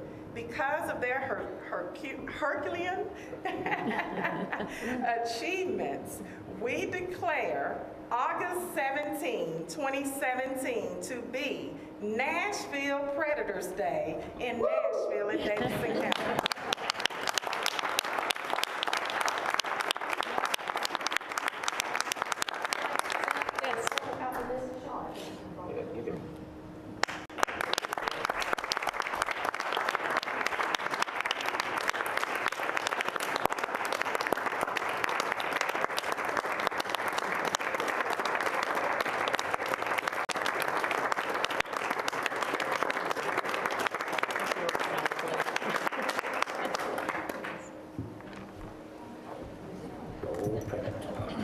And that is signed by all 40 members of our council. Thank you so much for this opportunity. Thank you to the council for honoring our Predators. We, um, we will all keep cheering for the Preds. We're very proud. Thank you. We appreciate you coming today. The board has our minutes from our June 15th uh, meeting before us. Um, Are there any revisions? Uh, Any corrections? If not, at this time, we'll... I'll enter- move adoption. Motion and second. Uh, All in favor to approve the minutes? Aye. Minutes are approved.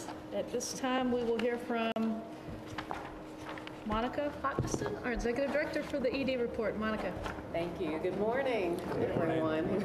Thank you for staying with us. We'll try to move this along as, as quickly as we can and take care of what we need to do. Um, you have the agenda before you. There are three items that will require board action this morning. The first one is item four, consideration of a resolution to accept a donation from the Nashville Breastfeeding Coalition, and I will speak more about that shortly. Also, item five, you'll hear from the Personnel Committee, uh, and they will bring a recommendation for consideration of an executive director's open range increase. And then finally, what we'll do in the interest of time and, and in case any of the board needs to leave, we will swap items seven and eight. And the board will be asked to consider the cleaning services agreement between Powers Management and Jani-King of Nashville. And then following action on that item, then we'll hear from, um, from the, from the Bridgestone Arena and the Nashville Predators. But we want to make sure that in case any of you have to go, that we still have a quorum at that point. Um, I have a few updates, and I'll try to keep this very brief. You know, we, we did not meet in July, but as I'm sure you all know, and, and we communicated to you on July 4th during the, the fireworks show, there was a shell that misfired and caused some damage to the west side upper deck, um, essentially a hole. Uh, the Titans and the project management team have been working on the remediation. Um, There's some steel beams that were installed for support. Um, Concrete is being patched and the seats are being replaced. All of this work will be done by Saturday in time for the Titans preseason game, I think at 2 o'clock. Um, Also, on behalf of our project management team who had to leave, um, we want to report that Phase 3 work at the stadium is complete. That was some work to the West Club, um, some of the sealants and and expansion joints. Um, Final accounting is in progress, but also the Titans reimbursements for Phase 1 and Phase 2 have been completely, um, have paid, and so we've closed that piece out. Um, there are a couple of events that I want to mention. I know you're already familiar with them. This Monday, the Sports Authority with the Sounds and the Mayor's Office will be hosting an eclipse viewing party at First Tennessee Park. Um, you have the press release and I believe a timeline in your packets. The event begins at 11 o'clock. Um, full, the full eclipse or totality is at 1:25 and will last for about two minutes, maybe just under two minutes. Um, the, the event concludes at 2 o'clock, and then the ballpark will close for an hour and will reopen at 3 o'clock for the Sounds game against the Iowa Cubs. Okay. So um, there will be free parking and shuttling from Lot R over at Nissan Stadium to First Tennessee Park. Uh, the response has been extremely good. I believe the Sounds expect to sell the last of the tickets today. Probably less than 500 So yeah, less than 500 remain. Um, So that's, that's fantastic. We really hope that you'll be able to, to come. It's been a a tremendous effort um, by the Sports Authority. Quentin has worked tirelessly on this, along with, with Doug and Adam and their team at the Sounds, and also the mayor's office. So it should be a great event. Um, Secondly, on August 29th, also at First Tennessee Park, we will be hosting, along with the Sounds, the Titans, Metro Health Department, and our community partners, a ribbon cutting for the Mamava. You remember the Mamavas are the, the breastfeeding suites that are mobile and will be at the ballpark and at um, Nissan Stadium and also deployed to certain Metro special events. So we again have been working very hard on that. We're excited about it. Um, There will be an open house and tours that will begin at 6:15, and then we'll have a program at 6:30, and then the Sounds first pitch is at 7:05. So um, please contact our office, give us a call if you're interested in coming. We're really excited to be able to provide this for moms and babies across the city. Are there any questions? That concludes my report. Thank you, Monica. I I know I plan on attending on Monday, the um, clips, so hopefully if other board members are are able, maybe we could all uh, meet up, so maybe after the meeting, we can talk to Quentin about uh, some of the details on that. Um, It's going to be an exciting day for Nashville. Uh, And then moving on, it looks like next step is uh, we need to formally co- approve the resolution to accept the donation for the Mamava. I will so move. I will second. We have a motion and a second to approve the resolution for a $500 donation from the Nashville Breastfeeding Coalition to support the fiscal year 2018 Sports Authority PIP. Motion second, all in favor, say aye. Aye. Any opposed? Ayes have it, motion carries. And next, we have the Personnel Committee report, and our Vice Chair, Kathy Bender, will give us that committee report. Good morning, everyone. Um, The Personnel Committee met uh, early this morning. Uh, We had a great meeting, and um, we had one task, and that was to uh, consider the um, open range pay increase for our executive director. Um, I will say that the feedback to Monica was extremely positive, and we feel very good about the direction that the board has moved in over the course of the last 12 months. Um, And not only Monica, but we salute the entire team. You all have done a fantastic job, and uh, we just appreciate all the effort. What I need to do is to, uh, the recommendation, well, the bottom line is that there's a standard 2% increase, and uh, the open range allows to increase up to 5%. So there's a 3% option to increase the salary for our executive director. And it was the recommendation of the Personnel Committee to extend the 3% uh, addition to Monica's salary.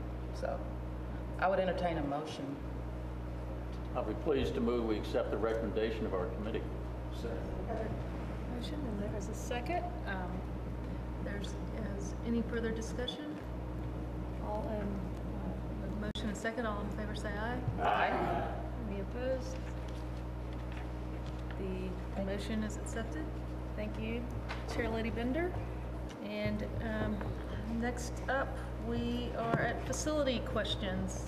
Um, uh, In our packet, as, as usual, uh, we have uh, committee, or facility information from both the Predators and Sounds. Um, Even though they're not on the formal agenda today, if there are any questions, we could entertain those at this time. I know Janine is here, and and I see Doug as well, so. Seeing none, uh, now we will hear from Bridgestone Arena for um, their portion of the agenda, and it looks like we will first take up the cleaning services agreement, and Kyle will kick us off on that.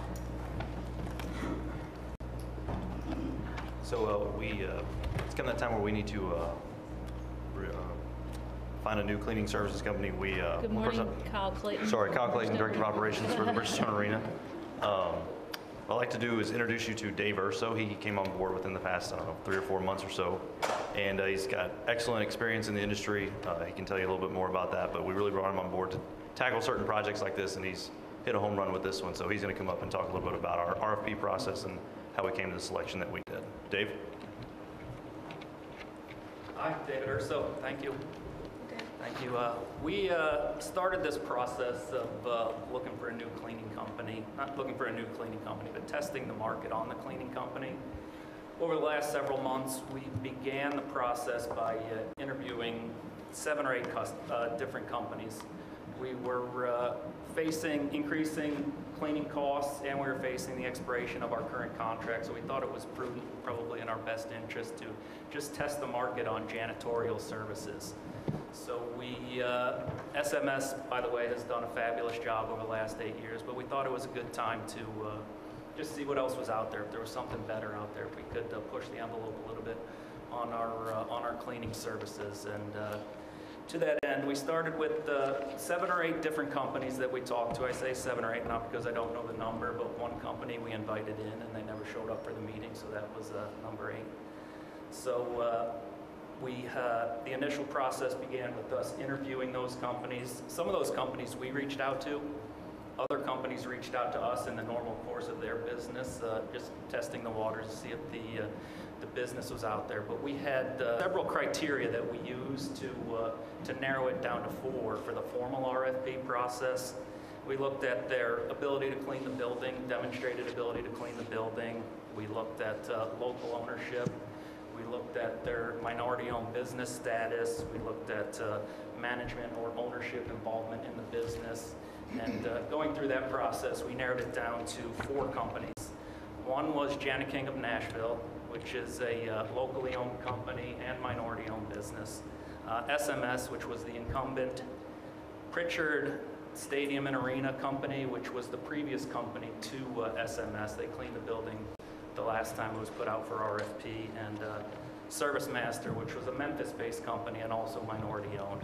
So we sent out a formal RFP to, uh, to those four companies. And the timing of this RFP process, it was, uh, it was designed to be fairly quick and fairly quiet. And we did it that way just because when you start to put out contracts, you know, we were concerned about continuity of service. What happens to the management staff here when they find out that there's a potential that uh, there's going to be a new company? What happens to the employees? So we were concerned that uh, continuity of service would, uh, would might suffer if, uh, if the process went on too long. So to that end, we chose to uh, send out the, the RFP to those four companies. And uh, the RFP response decision was based on similar things. We were looking at uh, the ability to clean the building, a consistent and identifiable workforce or staff, and cost. In our initial meetings, we didn't have any discussions of cost, but uh, in the final RFP process, cost was an important factor. So uh, what stood out to us for, uh, for Jani-King of Nashville was their unique approach to staffing. They have kind of a three-tiered model with the master franchisee, individual franchises in the, in the Tennessee and Nashville market. There's 74 franchises in the local market, which they will tap into to uh, clean the building. And they also have corporate oversight from their uh, corporate offices in Dallas. So we thought that three-tiered approach was, uh, was pretty good and pretty effective for us. Uh, They have an ability to background check all of the employees who come into the building. They don't use temps, temporary services like a lot of the other cleaning companies do. So we were very concerned about, you know, for safety and security purposes, who gets in the building, and we know who's coming in the building. And uh, the other companies could not demonstrate to that as effectively as Jani-King. Uh, Local management involvement or local ownership involvement, they're, the, uh, the management and ownership of uh, Jani-King is local and very involved. They came uh, highly recommended from reference checks that we did, both uh, as a company and individually, the people who will be involved. Uh, They also seem to have a passion for the business that a lot of companies don't. They have a strong passion for cleaning. When they tell you your floors are going to pop in a meeting and they're excited about it, you know, you kind of get excited about cleaning as much as you can get excited about cleaning. And uh, the final determination was cost, and their cost significantly lower than the other companies who bid, about 35% lower than uh, the, uh, the other finalists. So those were the reasons that we, uh, we chose Jani-King. We're looking for, we're looking at a two-year contract with a two-year option, mutual option for the, for the second two years. That's the, uh, I guess, the contract that's before us now, We're waiting for your approval. Thank you, Dave. All right. Uh, Questions for Any Dave? questions? Um, Okay. Okay. At this time, I believe we will entertain a motion for approval for the cleaning services agreement between Powers Management and Jana King of Nashville. So moved. Second. Motion and second. All in favor, say aye. Aye. Any opposed?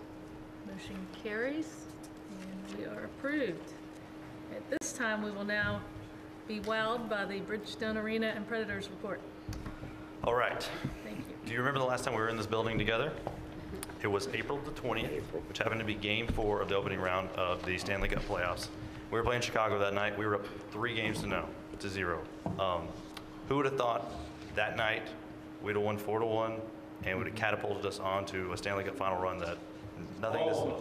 Ever, nobody except for Sean Henry, of course. Um, you know, that victory that night really put us on the national spotlight. It was one of those that captured the attention of everybody, and it just catapulted us to a run that no one had seen before.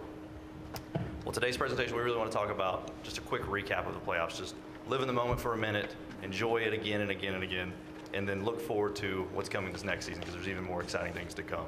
Um, we actually have a quick video that will kick everything off. Um, after that, our very own Pete Weber, who happens to be, for the fifth time, uh, Tennessee Sportscaster of the Year, voted on by the National Sports Media. He'll come up and say a few words after that, and we'll just get going.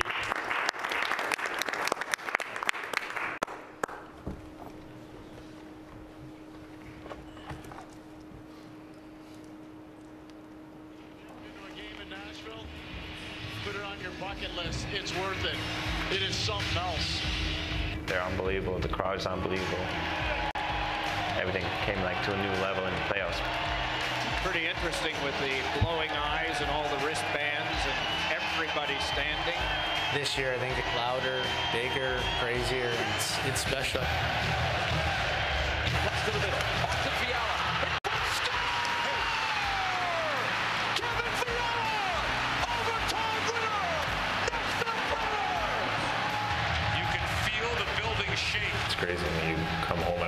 After the games and your ears are ringing. You almost can't go to bed because it's like you're still living, living the game almost. It's the coolest thing that I've experienced so far.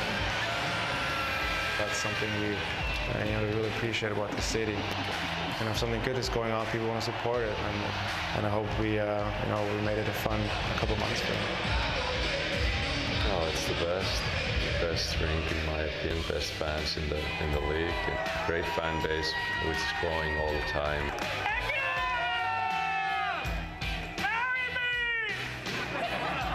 Unbelievable. 12 seconds remaining in the Anaheim power play. This game tied at three. Here now is Jarnkrok across for Sissons. He scores! Oh my goodness! The score! And the Predators take a 4-3 lead. Yeah, it's amazing. Like, it's.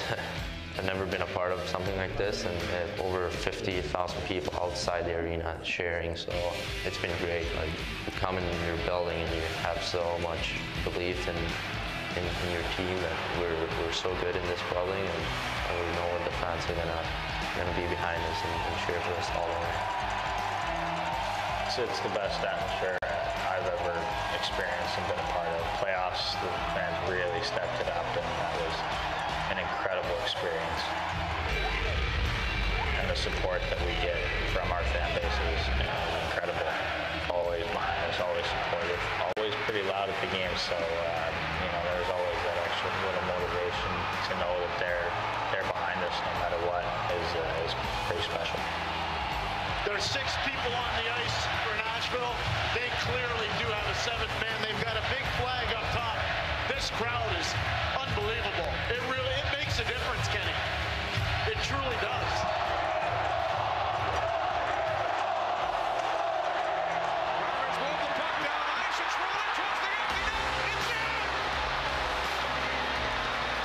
I, I can't put uh, words together to explain it. I, I really can't. Mind blowing. It was it was just incredible. The whole the whole city just coming together and supporting our team. Here comes Arvidsson. Arvidsson in front. Johansen. He scores. I guess the secret's out now. We put Nashville on the hockey map. Did it with, with a big splash. I mean, thanks to all the fans.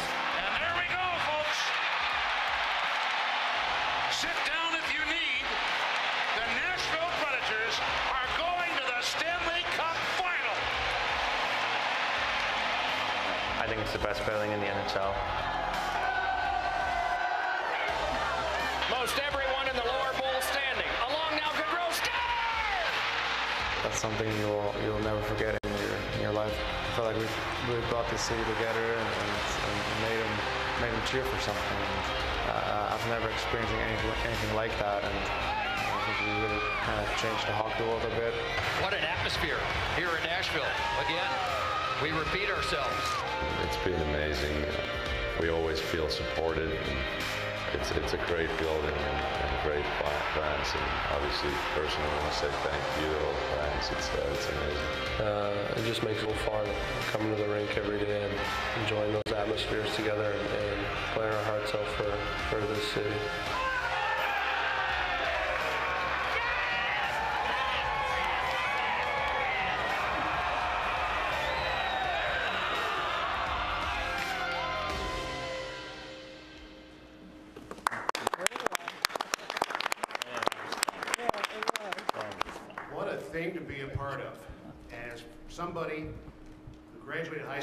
1969, as myself, to be able to bring Woodstock to downtown Nashville and eliminate some of the nudity and the drug usage, I think was a great thing, an absolutely great thing. Uh, glad to be in front of you here uh, this afternoon. No, it's still morning. We've still got two minutes, so I'm going to try to end this before it becomes high noon. Since everything ended for the Stanley Cup playoffs and the Predators on June 11th, here is what has happened. Assistant coach Phil Housley has left to become head coach of the Buffalo Sabres. David Poile was voted by his peers as the National Hockey League's general manager of the year. We lost James Neal. We had to lose one player in the expansion draft to Las Vegas. Had the entry draft in Chicago, Predators taking six players, including Eeli Tolvanen of Finland in the first round, and at least one draft analysis gave the Predators an A for all of that, adding it was arguably the Predators' best draft in recent years. Hosted a prospect camp shortly, shortly after the draft here for 30 plus prospects, recent draft picks, and youngsters in the system. Signed free agent Nick Bonino from Pittsburgh. If you can't beat him, sign him. That's what we did there. Traded Colin Wilson to Colorado. Acquired veteran defenseman Alexei Emelin via Las Vegas. He had been an expansion draft choice there, but most recently had played with Montreal. Signed players here to new deals Frederick Gaudreau, Pontus Aberg, Austin Watson, and Viktor Arvidsson. Hired Dan Muse, an assistant coach, while promoting Kevin McCarthy to associate coach. Signed Ryan Johansen to the biggest deal in franchise history. Captain Mike Fisher then announced his retirement most recently. Now, here's what's to come yet. The players returning to camp, returning to town, and beginning their own workouts.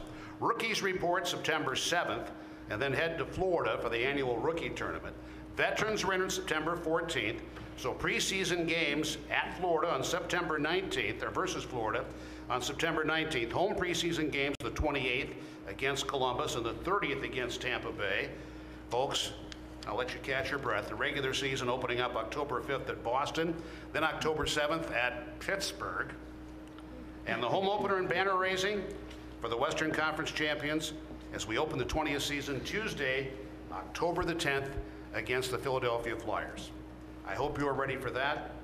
It is now afternoon, and I will introduce you to Gerry Helper.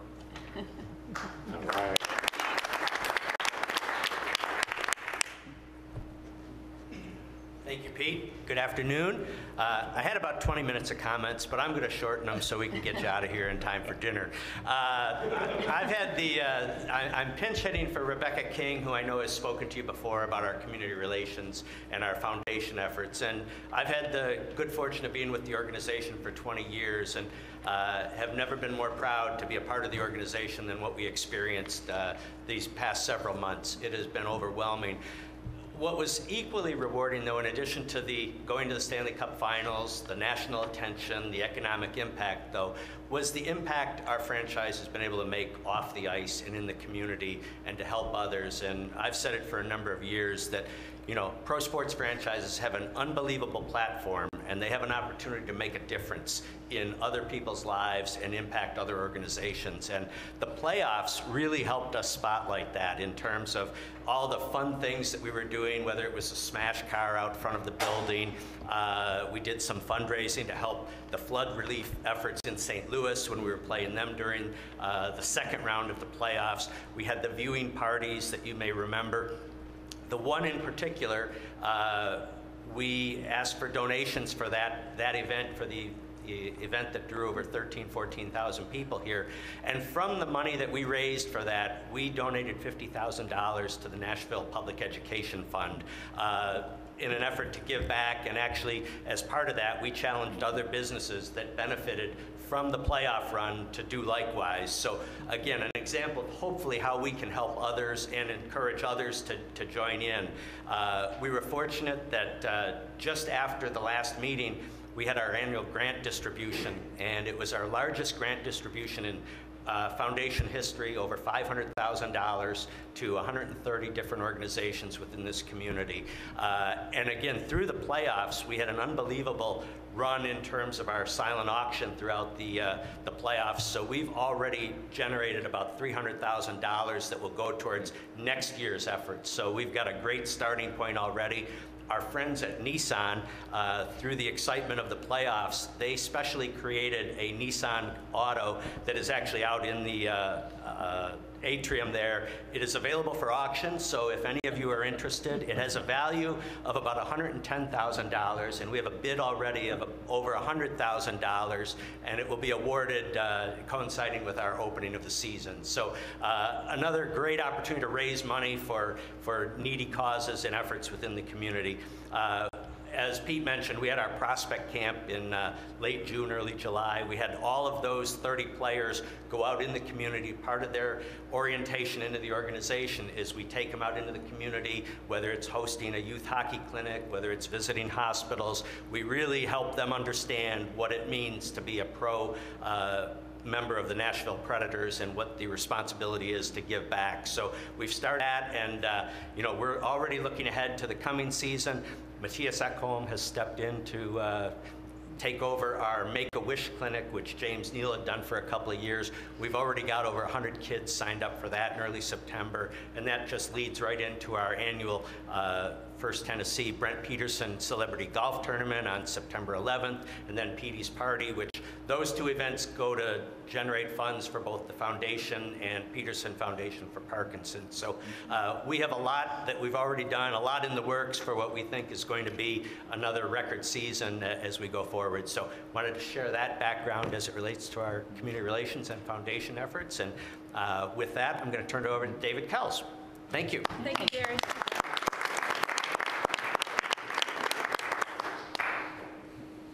Hi, I'm David Kells with Bridgestone Arena and the Nashville Predators.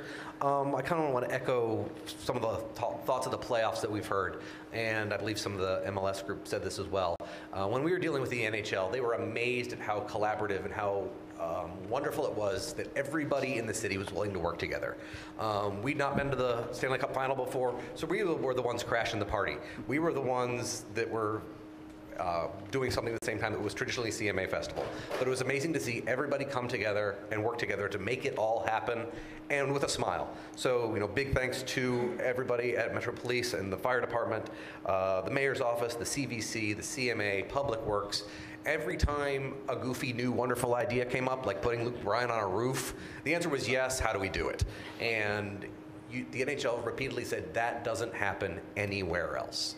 Nobody else is willing to use the whole community, the music um, industry, and everybody to come together to be part of one amazing event. So it's a, it's a, it's a testament to what you guys see every day, what we all know how the city works, but it was great to be able to showcase that to others. Um, with that long playoff run, we have a truncated summer. Every summer we do a bunch of new arena improvements. Um, we like to think we're like an amusement park. You need a new ride every year to show people that uh, what's going on. No different this year. Uh, hopefully we get used to this new truncated uh, schedule in the summer. Um, but we are rolling out things in the upper deck um, to make the make those fans have accommodations and uh, amenities on par with other parts of the arena. So uh, after this feel free to take a walk and see where we're putting hammers in walls and putting up drywall and putting in new bars and new restrooms and new viewing areas. Uh, we also have some things going on backstage that people don't see. So we've redone our media lounge. We've do- redone the bathrooms for the stagehand crew. And those things to make amenities for the folks who work here all day, every day, on event days, um, to let them know, hey, it's a comfortable place to be, it's a place that functions well, and um, they can have a great day at work. Um, since last we met, uh, another Pollstar ranking has come out. So for the first half of 2017, we finished fifth in the United States and 19th in the world in concert attendance. And it sounds like a broken record because we keep hitting these records all the time, but it's awesome to show the consistency, to show that what we did was not just a one-time blip, that we weren't didn't have one busy year and then we trailed off. That this is a con- consistent area. This is where Nashville is going to be for a long, long time. Um, we are currently at the tail end of an 11 event and 20 day run. In that, uh, in that run, included Shawn Mendes, Queen, two Tim and Faith shows, John Mayer, Matchbox 20, Roger Waters, and this week we finished with something that's uh, pretty cool. We have Earth, Wind, and Fire tonight, and then tomorrow starts a two day run of pro bull riding. We've never done bull riding on a one day to the show load in. So Earth, Wind, and Fire will load out tonight. Dump trucks will start coming at the at who knows what time in the morning, 1 a.m. or whatever, and then by tomorrow night we'll have a full dirt show load in. And this just goes to show again that cooperative spirit that our staff and the promoters for two separate events. They didn't have to play well in the sandbox, but they they did. And so there was a pre-rig yesterday with some of the Earth, Wind, and Fire's gear, some of the bull riding gear. They shared staff, they shared crews. They got that up. They'll get that out, the Earth, Wind, and Fire stuff out tonight.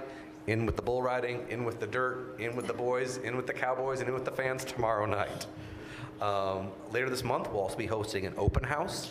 Um, again, kind of uh, continuing the off-season sales initiatives, but this is when the ice is going in. So uh, August 24th, we'll start putting ice in. We've invited out some season ticket holders to help paint the lines and the logos and all of those wonderful things. So the next time you come in here, it'll be cold. Bring your jackets, bring your long pants. Um, but it's just another season that hockey is, or another showing that hockey is about to start back. And uh, looking ahead, um, in the 2016 2017 fiscal year, we hosted, hosted 56 non hockey events.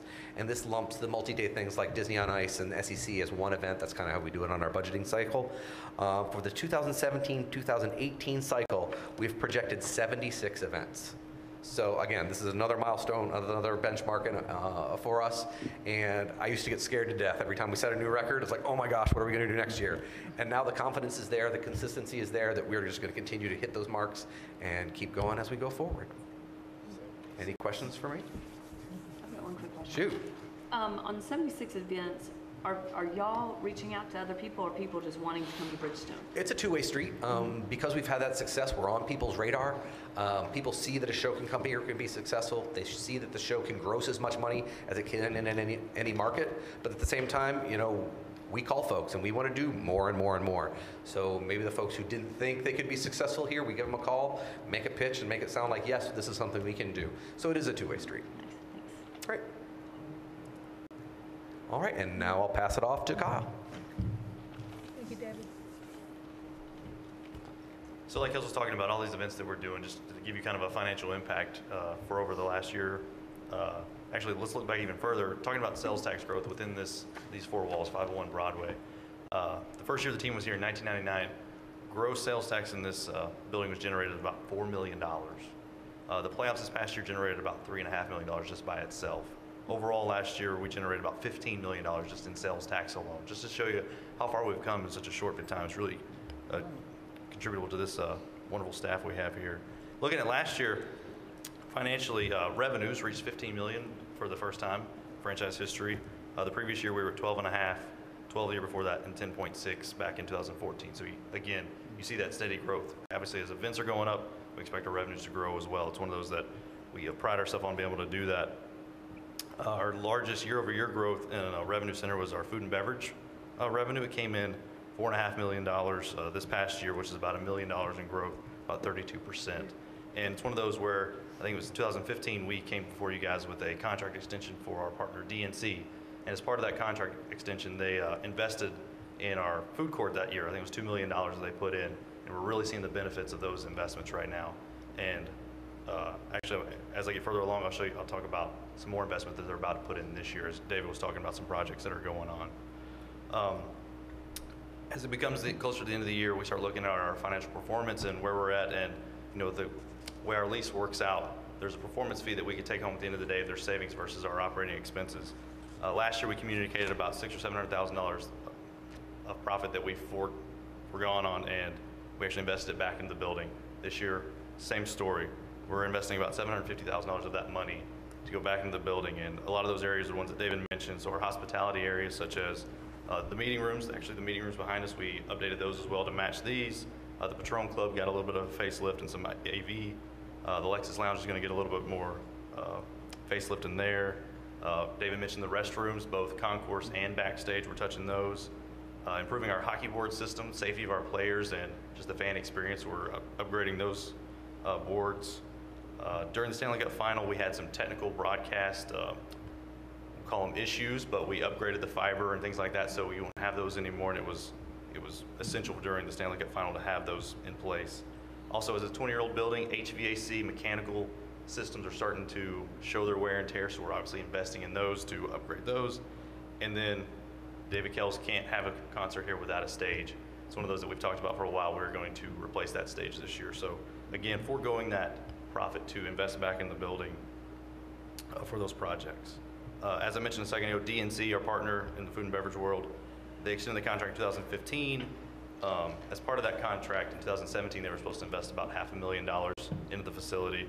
When the amazing success that we had this past season, it really made us all think things a little differently. They've actually pulled forward some investment. We're going to have about a million to a million and a half invested this summer in this building. So most of that will be on the 300 level concourse with some revamping a concession stand or two, and then actually adding a few more. We'll add about, I think it's 14 to 15 points of sale, so the speed of service will increase. There'll be more options for fans, some new uh, offerings up there. So really, it's going to help our overall business strategy, obviously on the revenue side, but also fan interaction or fan relations. They should really improve there as well. And then as part of that contract, there will be additional invest further along, as previously stated. Um, also, on top of that, so non-contracted, they are investing in a hospitality area down on our event level. They've, uh, we pitched it to them and they've accepted that, so it's one of those that's non-contracted. They've uh, bought into what we're, we're doing here, so it's one of those we're really excited to have that. So as I talk about all these projects that we're doing, some of them might sound familiar that they were on our latest SIF request back in May that we uh, brought before you guys in that May 1st meeting. Uh, So with the news of all this funding and everything like that, there are, I think there were five different projects that were on that list.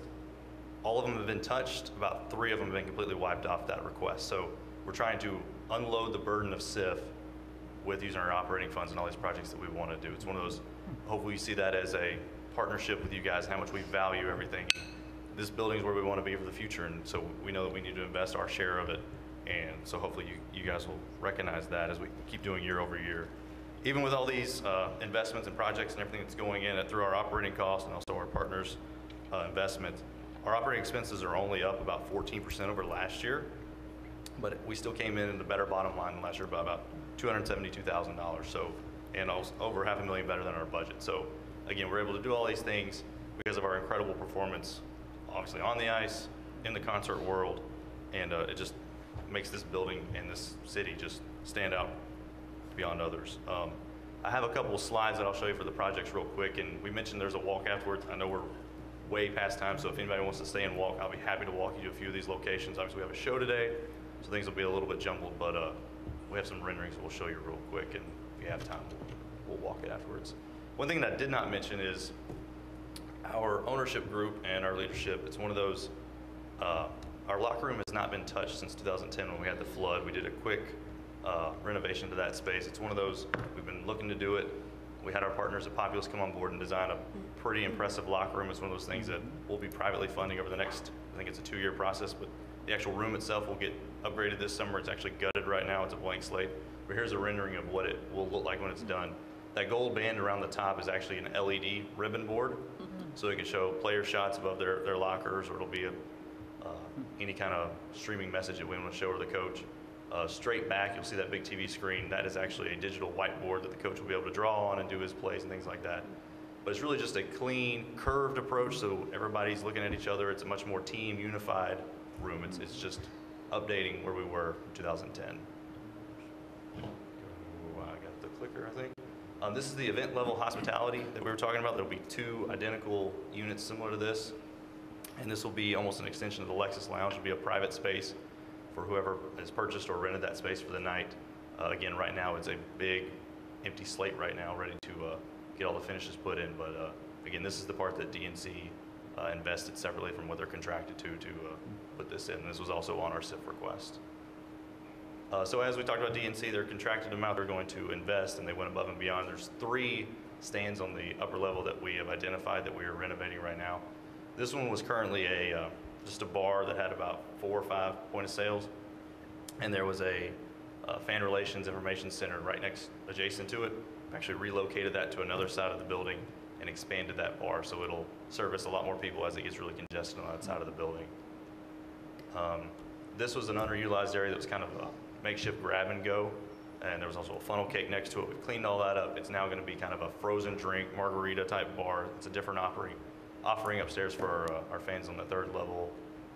And then this is a more formal grab and go that was actually a storage space. Sean Henry hates storage, so we're trying to find as much storage as possible and convert it to a revenue generating operation. So this will be a nice little uh, grab and go, similar to the one, the twice daily we, we have down on the uh, 100 level right now. Um, so with that, I that's a whole lot of information in about three minutes, sorry. Um, if you have any questions on any of that, you know, fire away now. If you want to email me later, obviously you can, more than happy to answer that. Uh, Kyle, I just want to thank the Predators for this $750,000 investment that is not required. It's just done just because it's a good thing to do.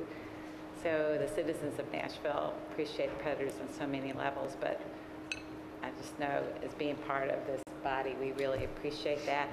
And we also really appreciate you talking to the concessionaire and having them do something very similar to what you're doing and uh, what they don't have to do and making these improvements. It's very impressive. So thank you for bringing that to our attention and thank you for what you're doing. Thank you. Thank you. Um, I would like to say, um, I was really pleased to hear all the investment in the third level. Those fans deserve, they put their heart and soul in this building. Absolutely. And uh, deserve a lot of credit, so I'm glad that they're getting the uh, extra attention that they deserve, so, um, thank you. Are there any other questions for Kyle? Anything else, and I'll bring up Sean Henry, hopefully to close you out in a abbreviated portion. Yeah, real brief.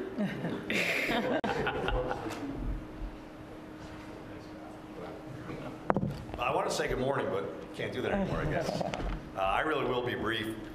Uh, I just want to say thank you you know, for letting us continue to talk and talk and talk and talk today. Uh, But over the past, I guess, two months since we went on kind of a nice run, we've gotten a lot of congratulations, a lot of thanks, a lot of proclamations, awards, really nice things. People buy us dinner now and drinks when we're out. Not me, but Dave and Kyle and those guys. Um, But it really has been incredible. With all that said, we haven't done anything yet. Remember what our goal is. It's really, really simple. To be the number one sports entertainment facility built around a Stanley Cup championship team. We were close.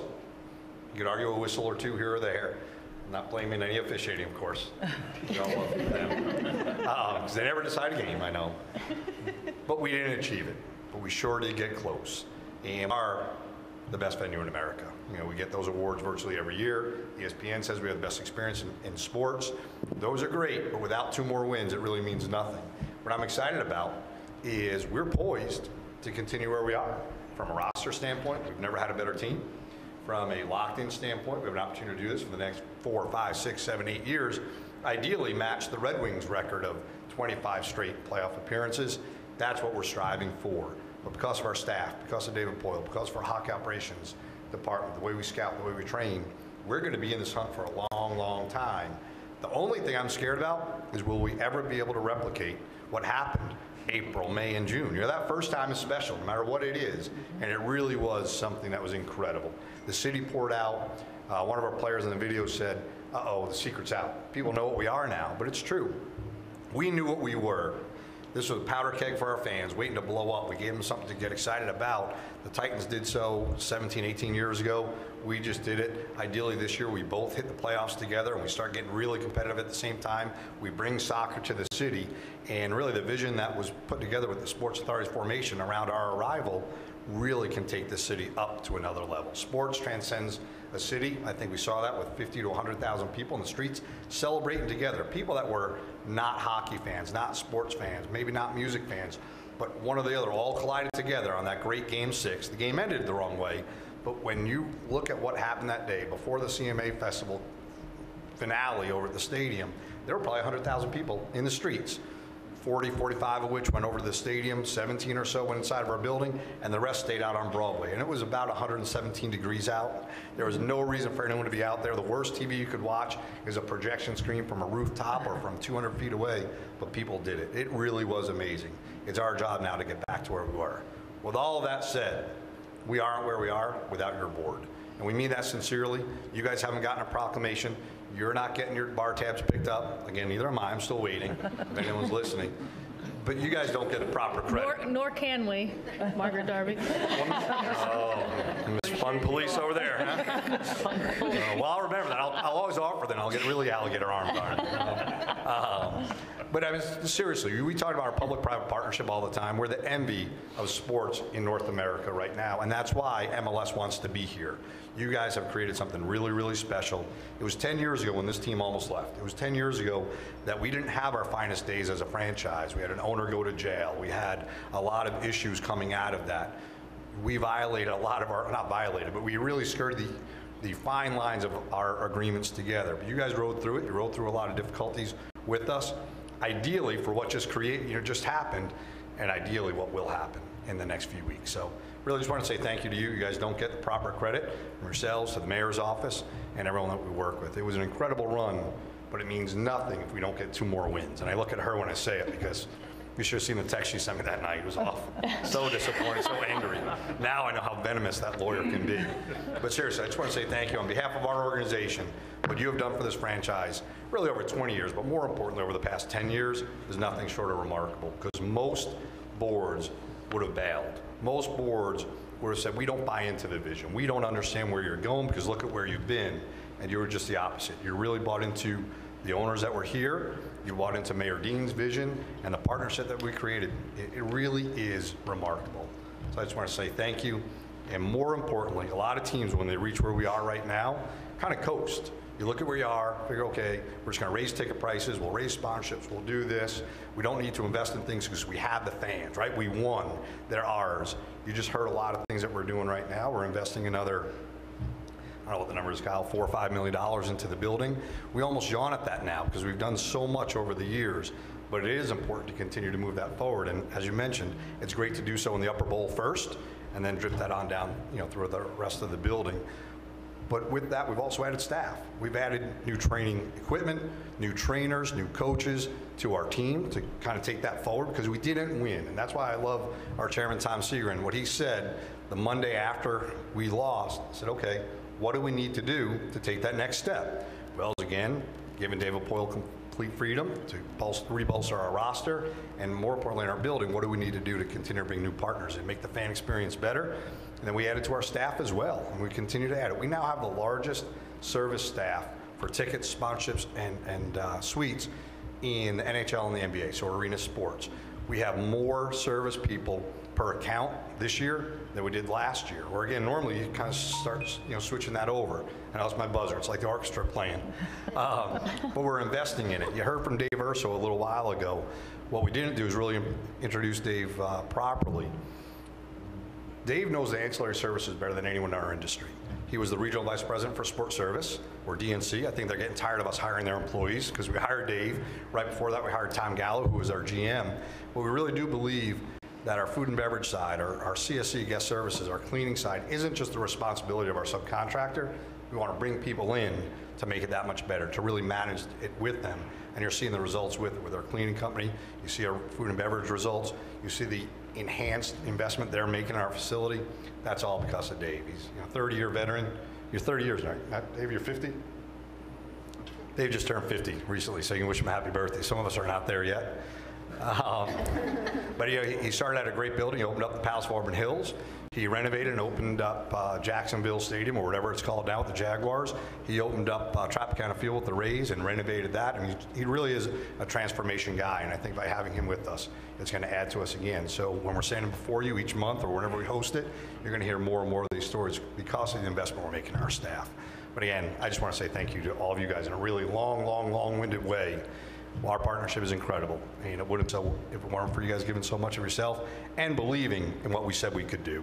I remember my first meeting seven years ago. I think next week it was awful. I mean, I think three of you were there. It was the most miserable day of my life, and I think we vowed to you that we would never have that meeting again. And fortunately, there's no wood up here, but knock on something. We not we haven't had it, not because of anything we did, because of the faith that you guys had in us. So thank you very much.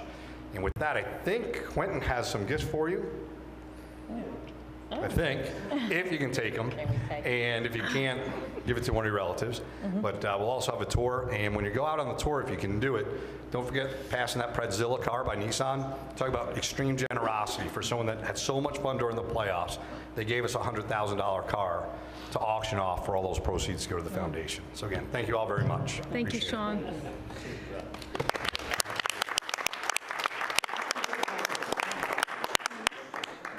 Was a great presentation. We really, um, it means a lot. And you said something about seven years. Uh, I wasn't going to bring this up, but today is my daughter's seven-year birthday. And it- I had to bring it up because I was actually pregnant with her when I started this board.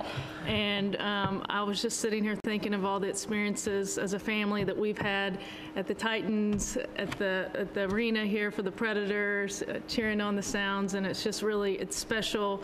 That's why, um, you know, we're here as a sports community because of the experience for families in our community. And it's been very special um, in a personal way for me. So I want to say happy birthday to my daughter. Um, and our next meeting is at uh, First Tennessee Park on September 21st. I believe we'll have a finance committee meeting uh, before that, and I'm sure we will let uh, the board know when that is. And um, don't forget to leave your binders. And if there is no other business, I would move to adjourn. Thank you. We're adjourned.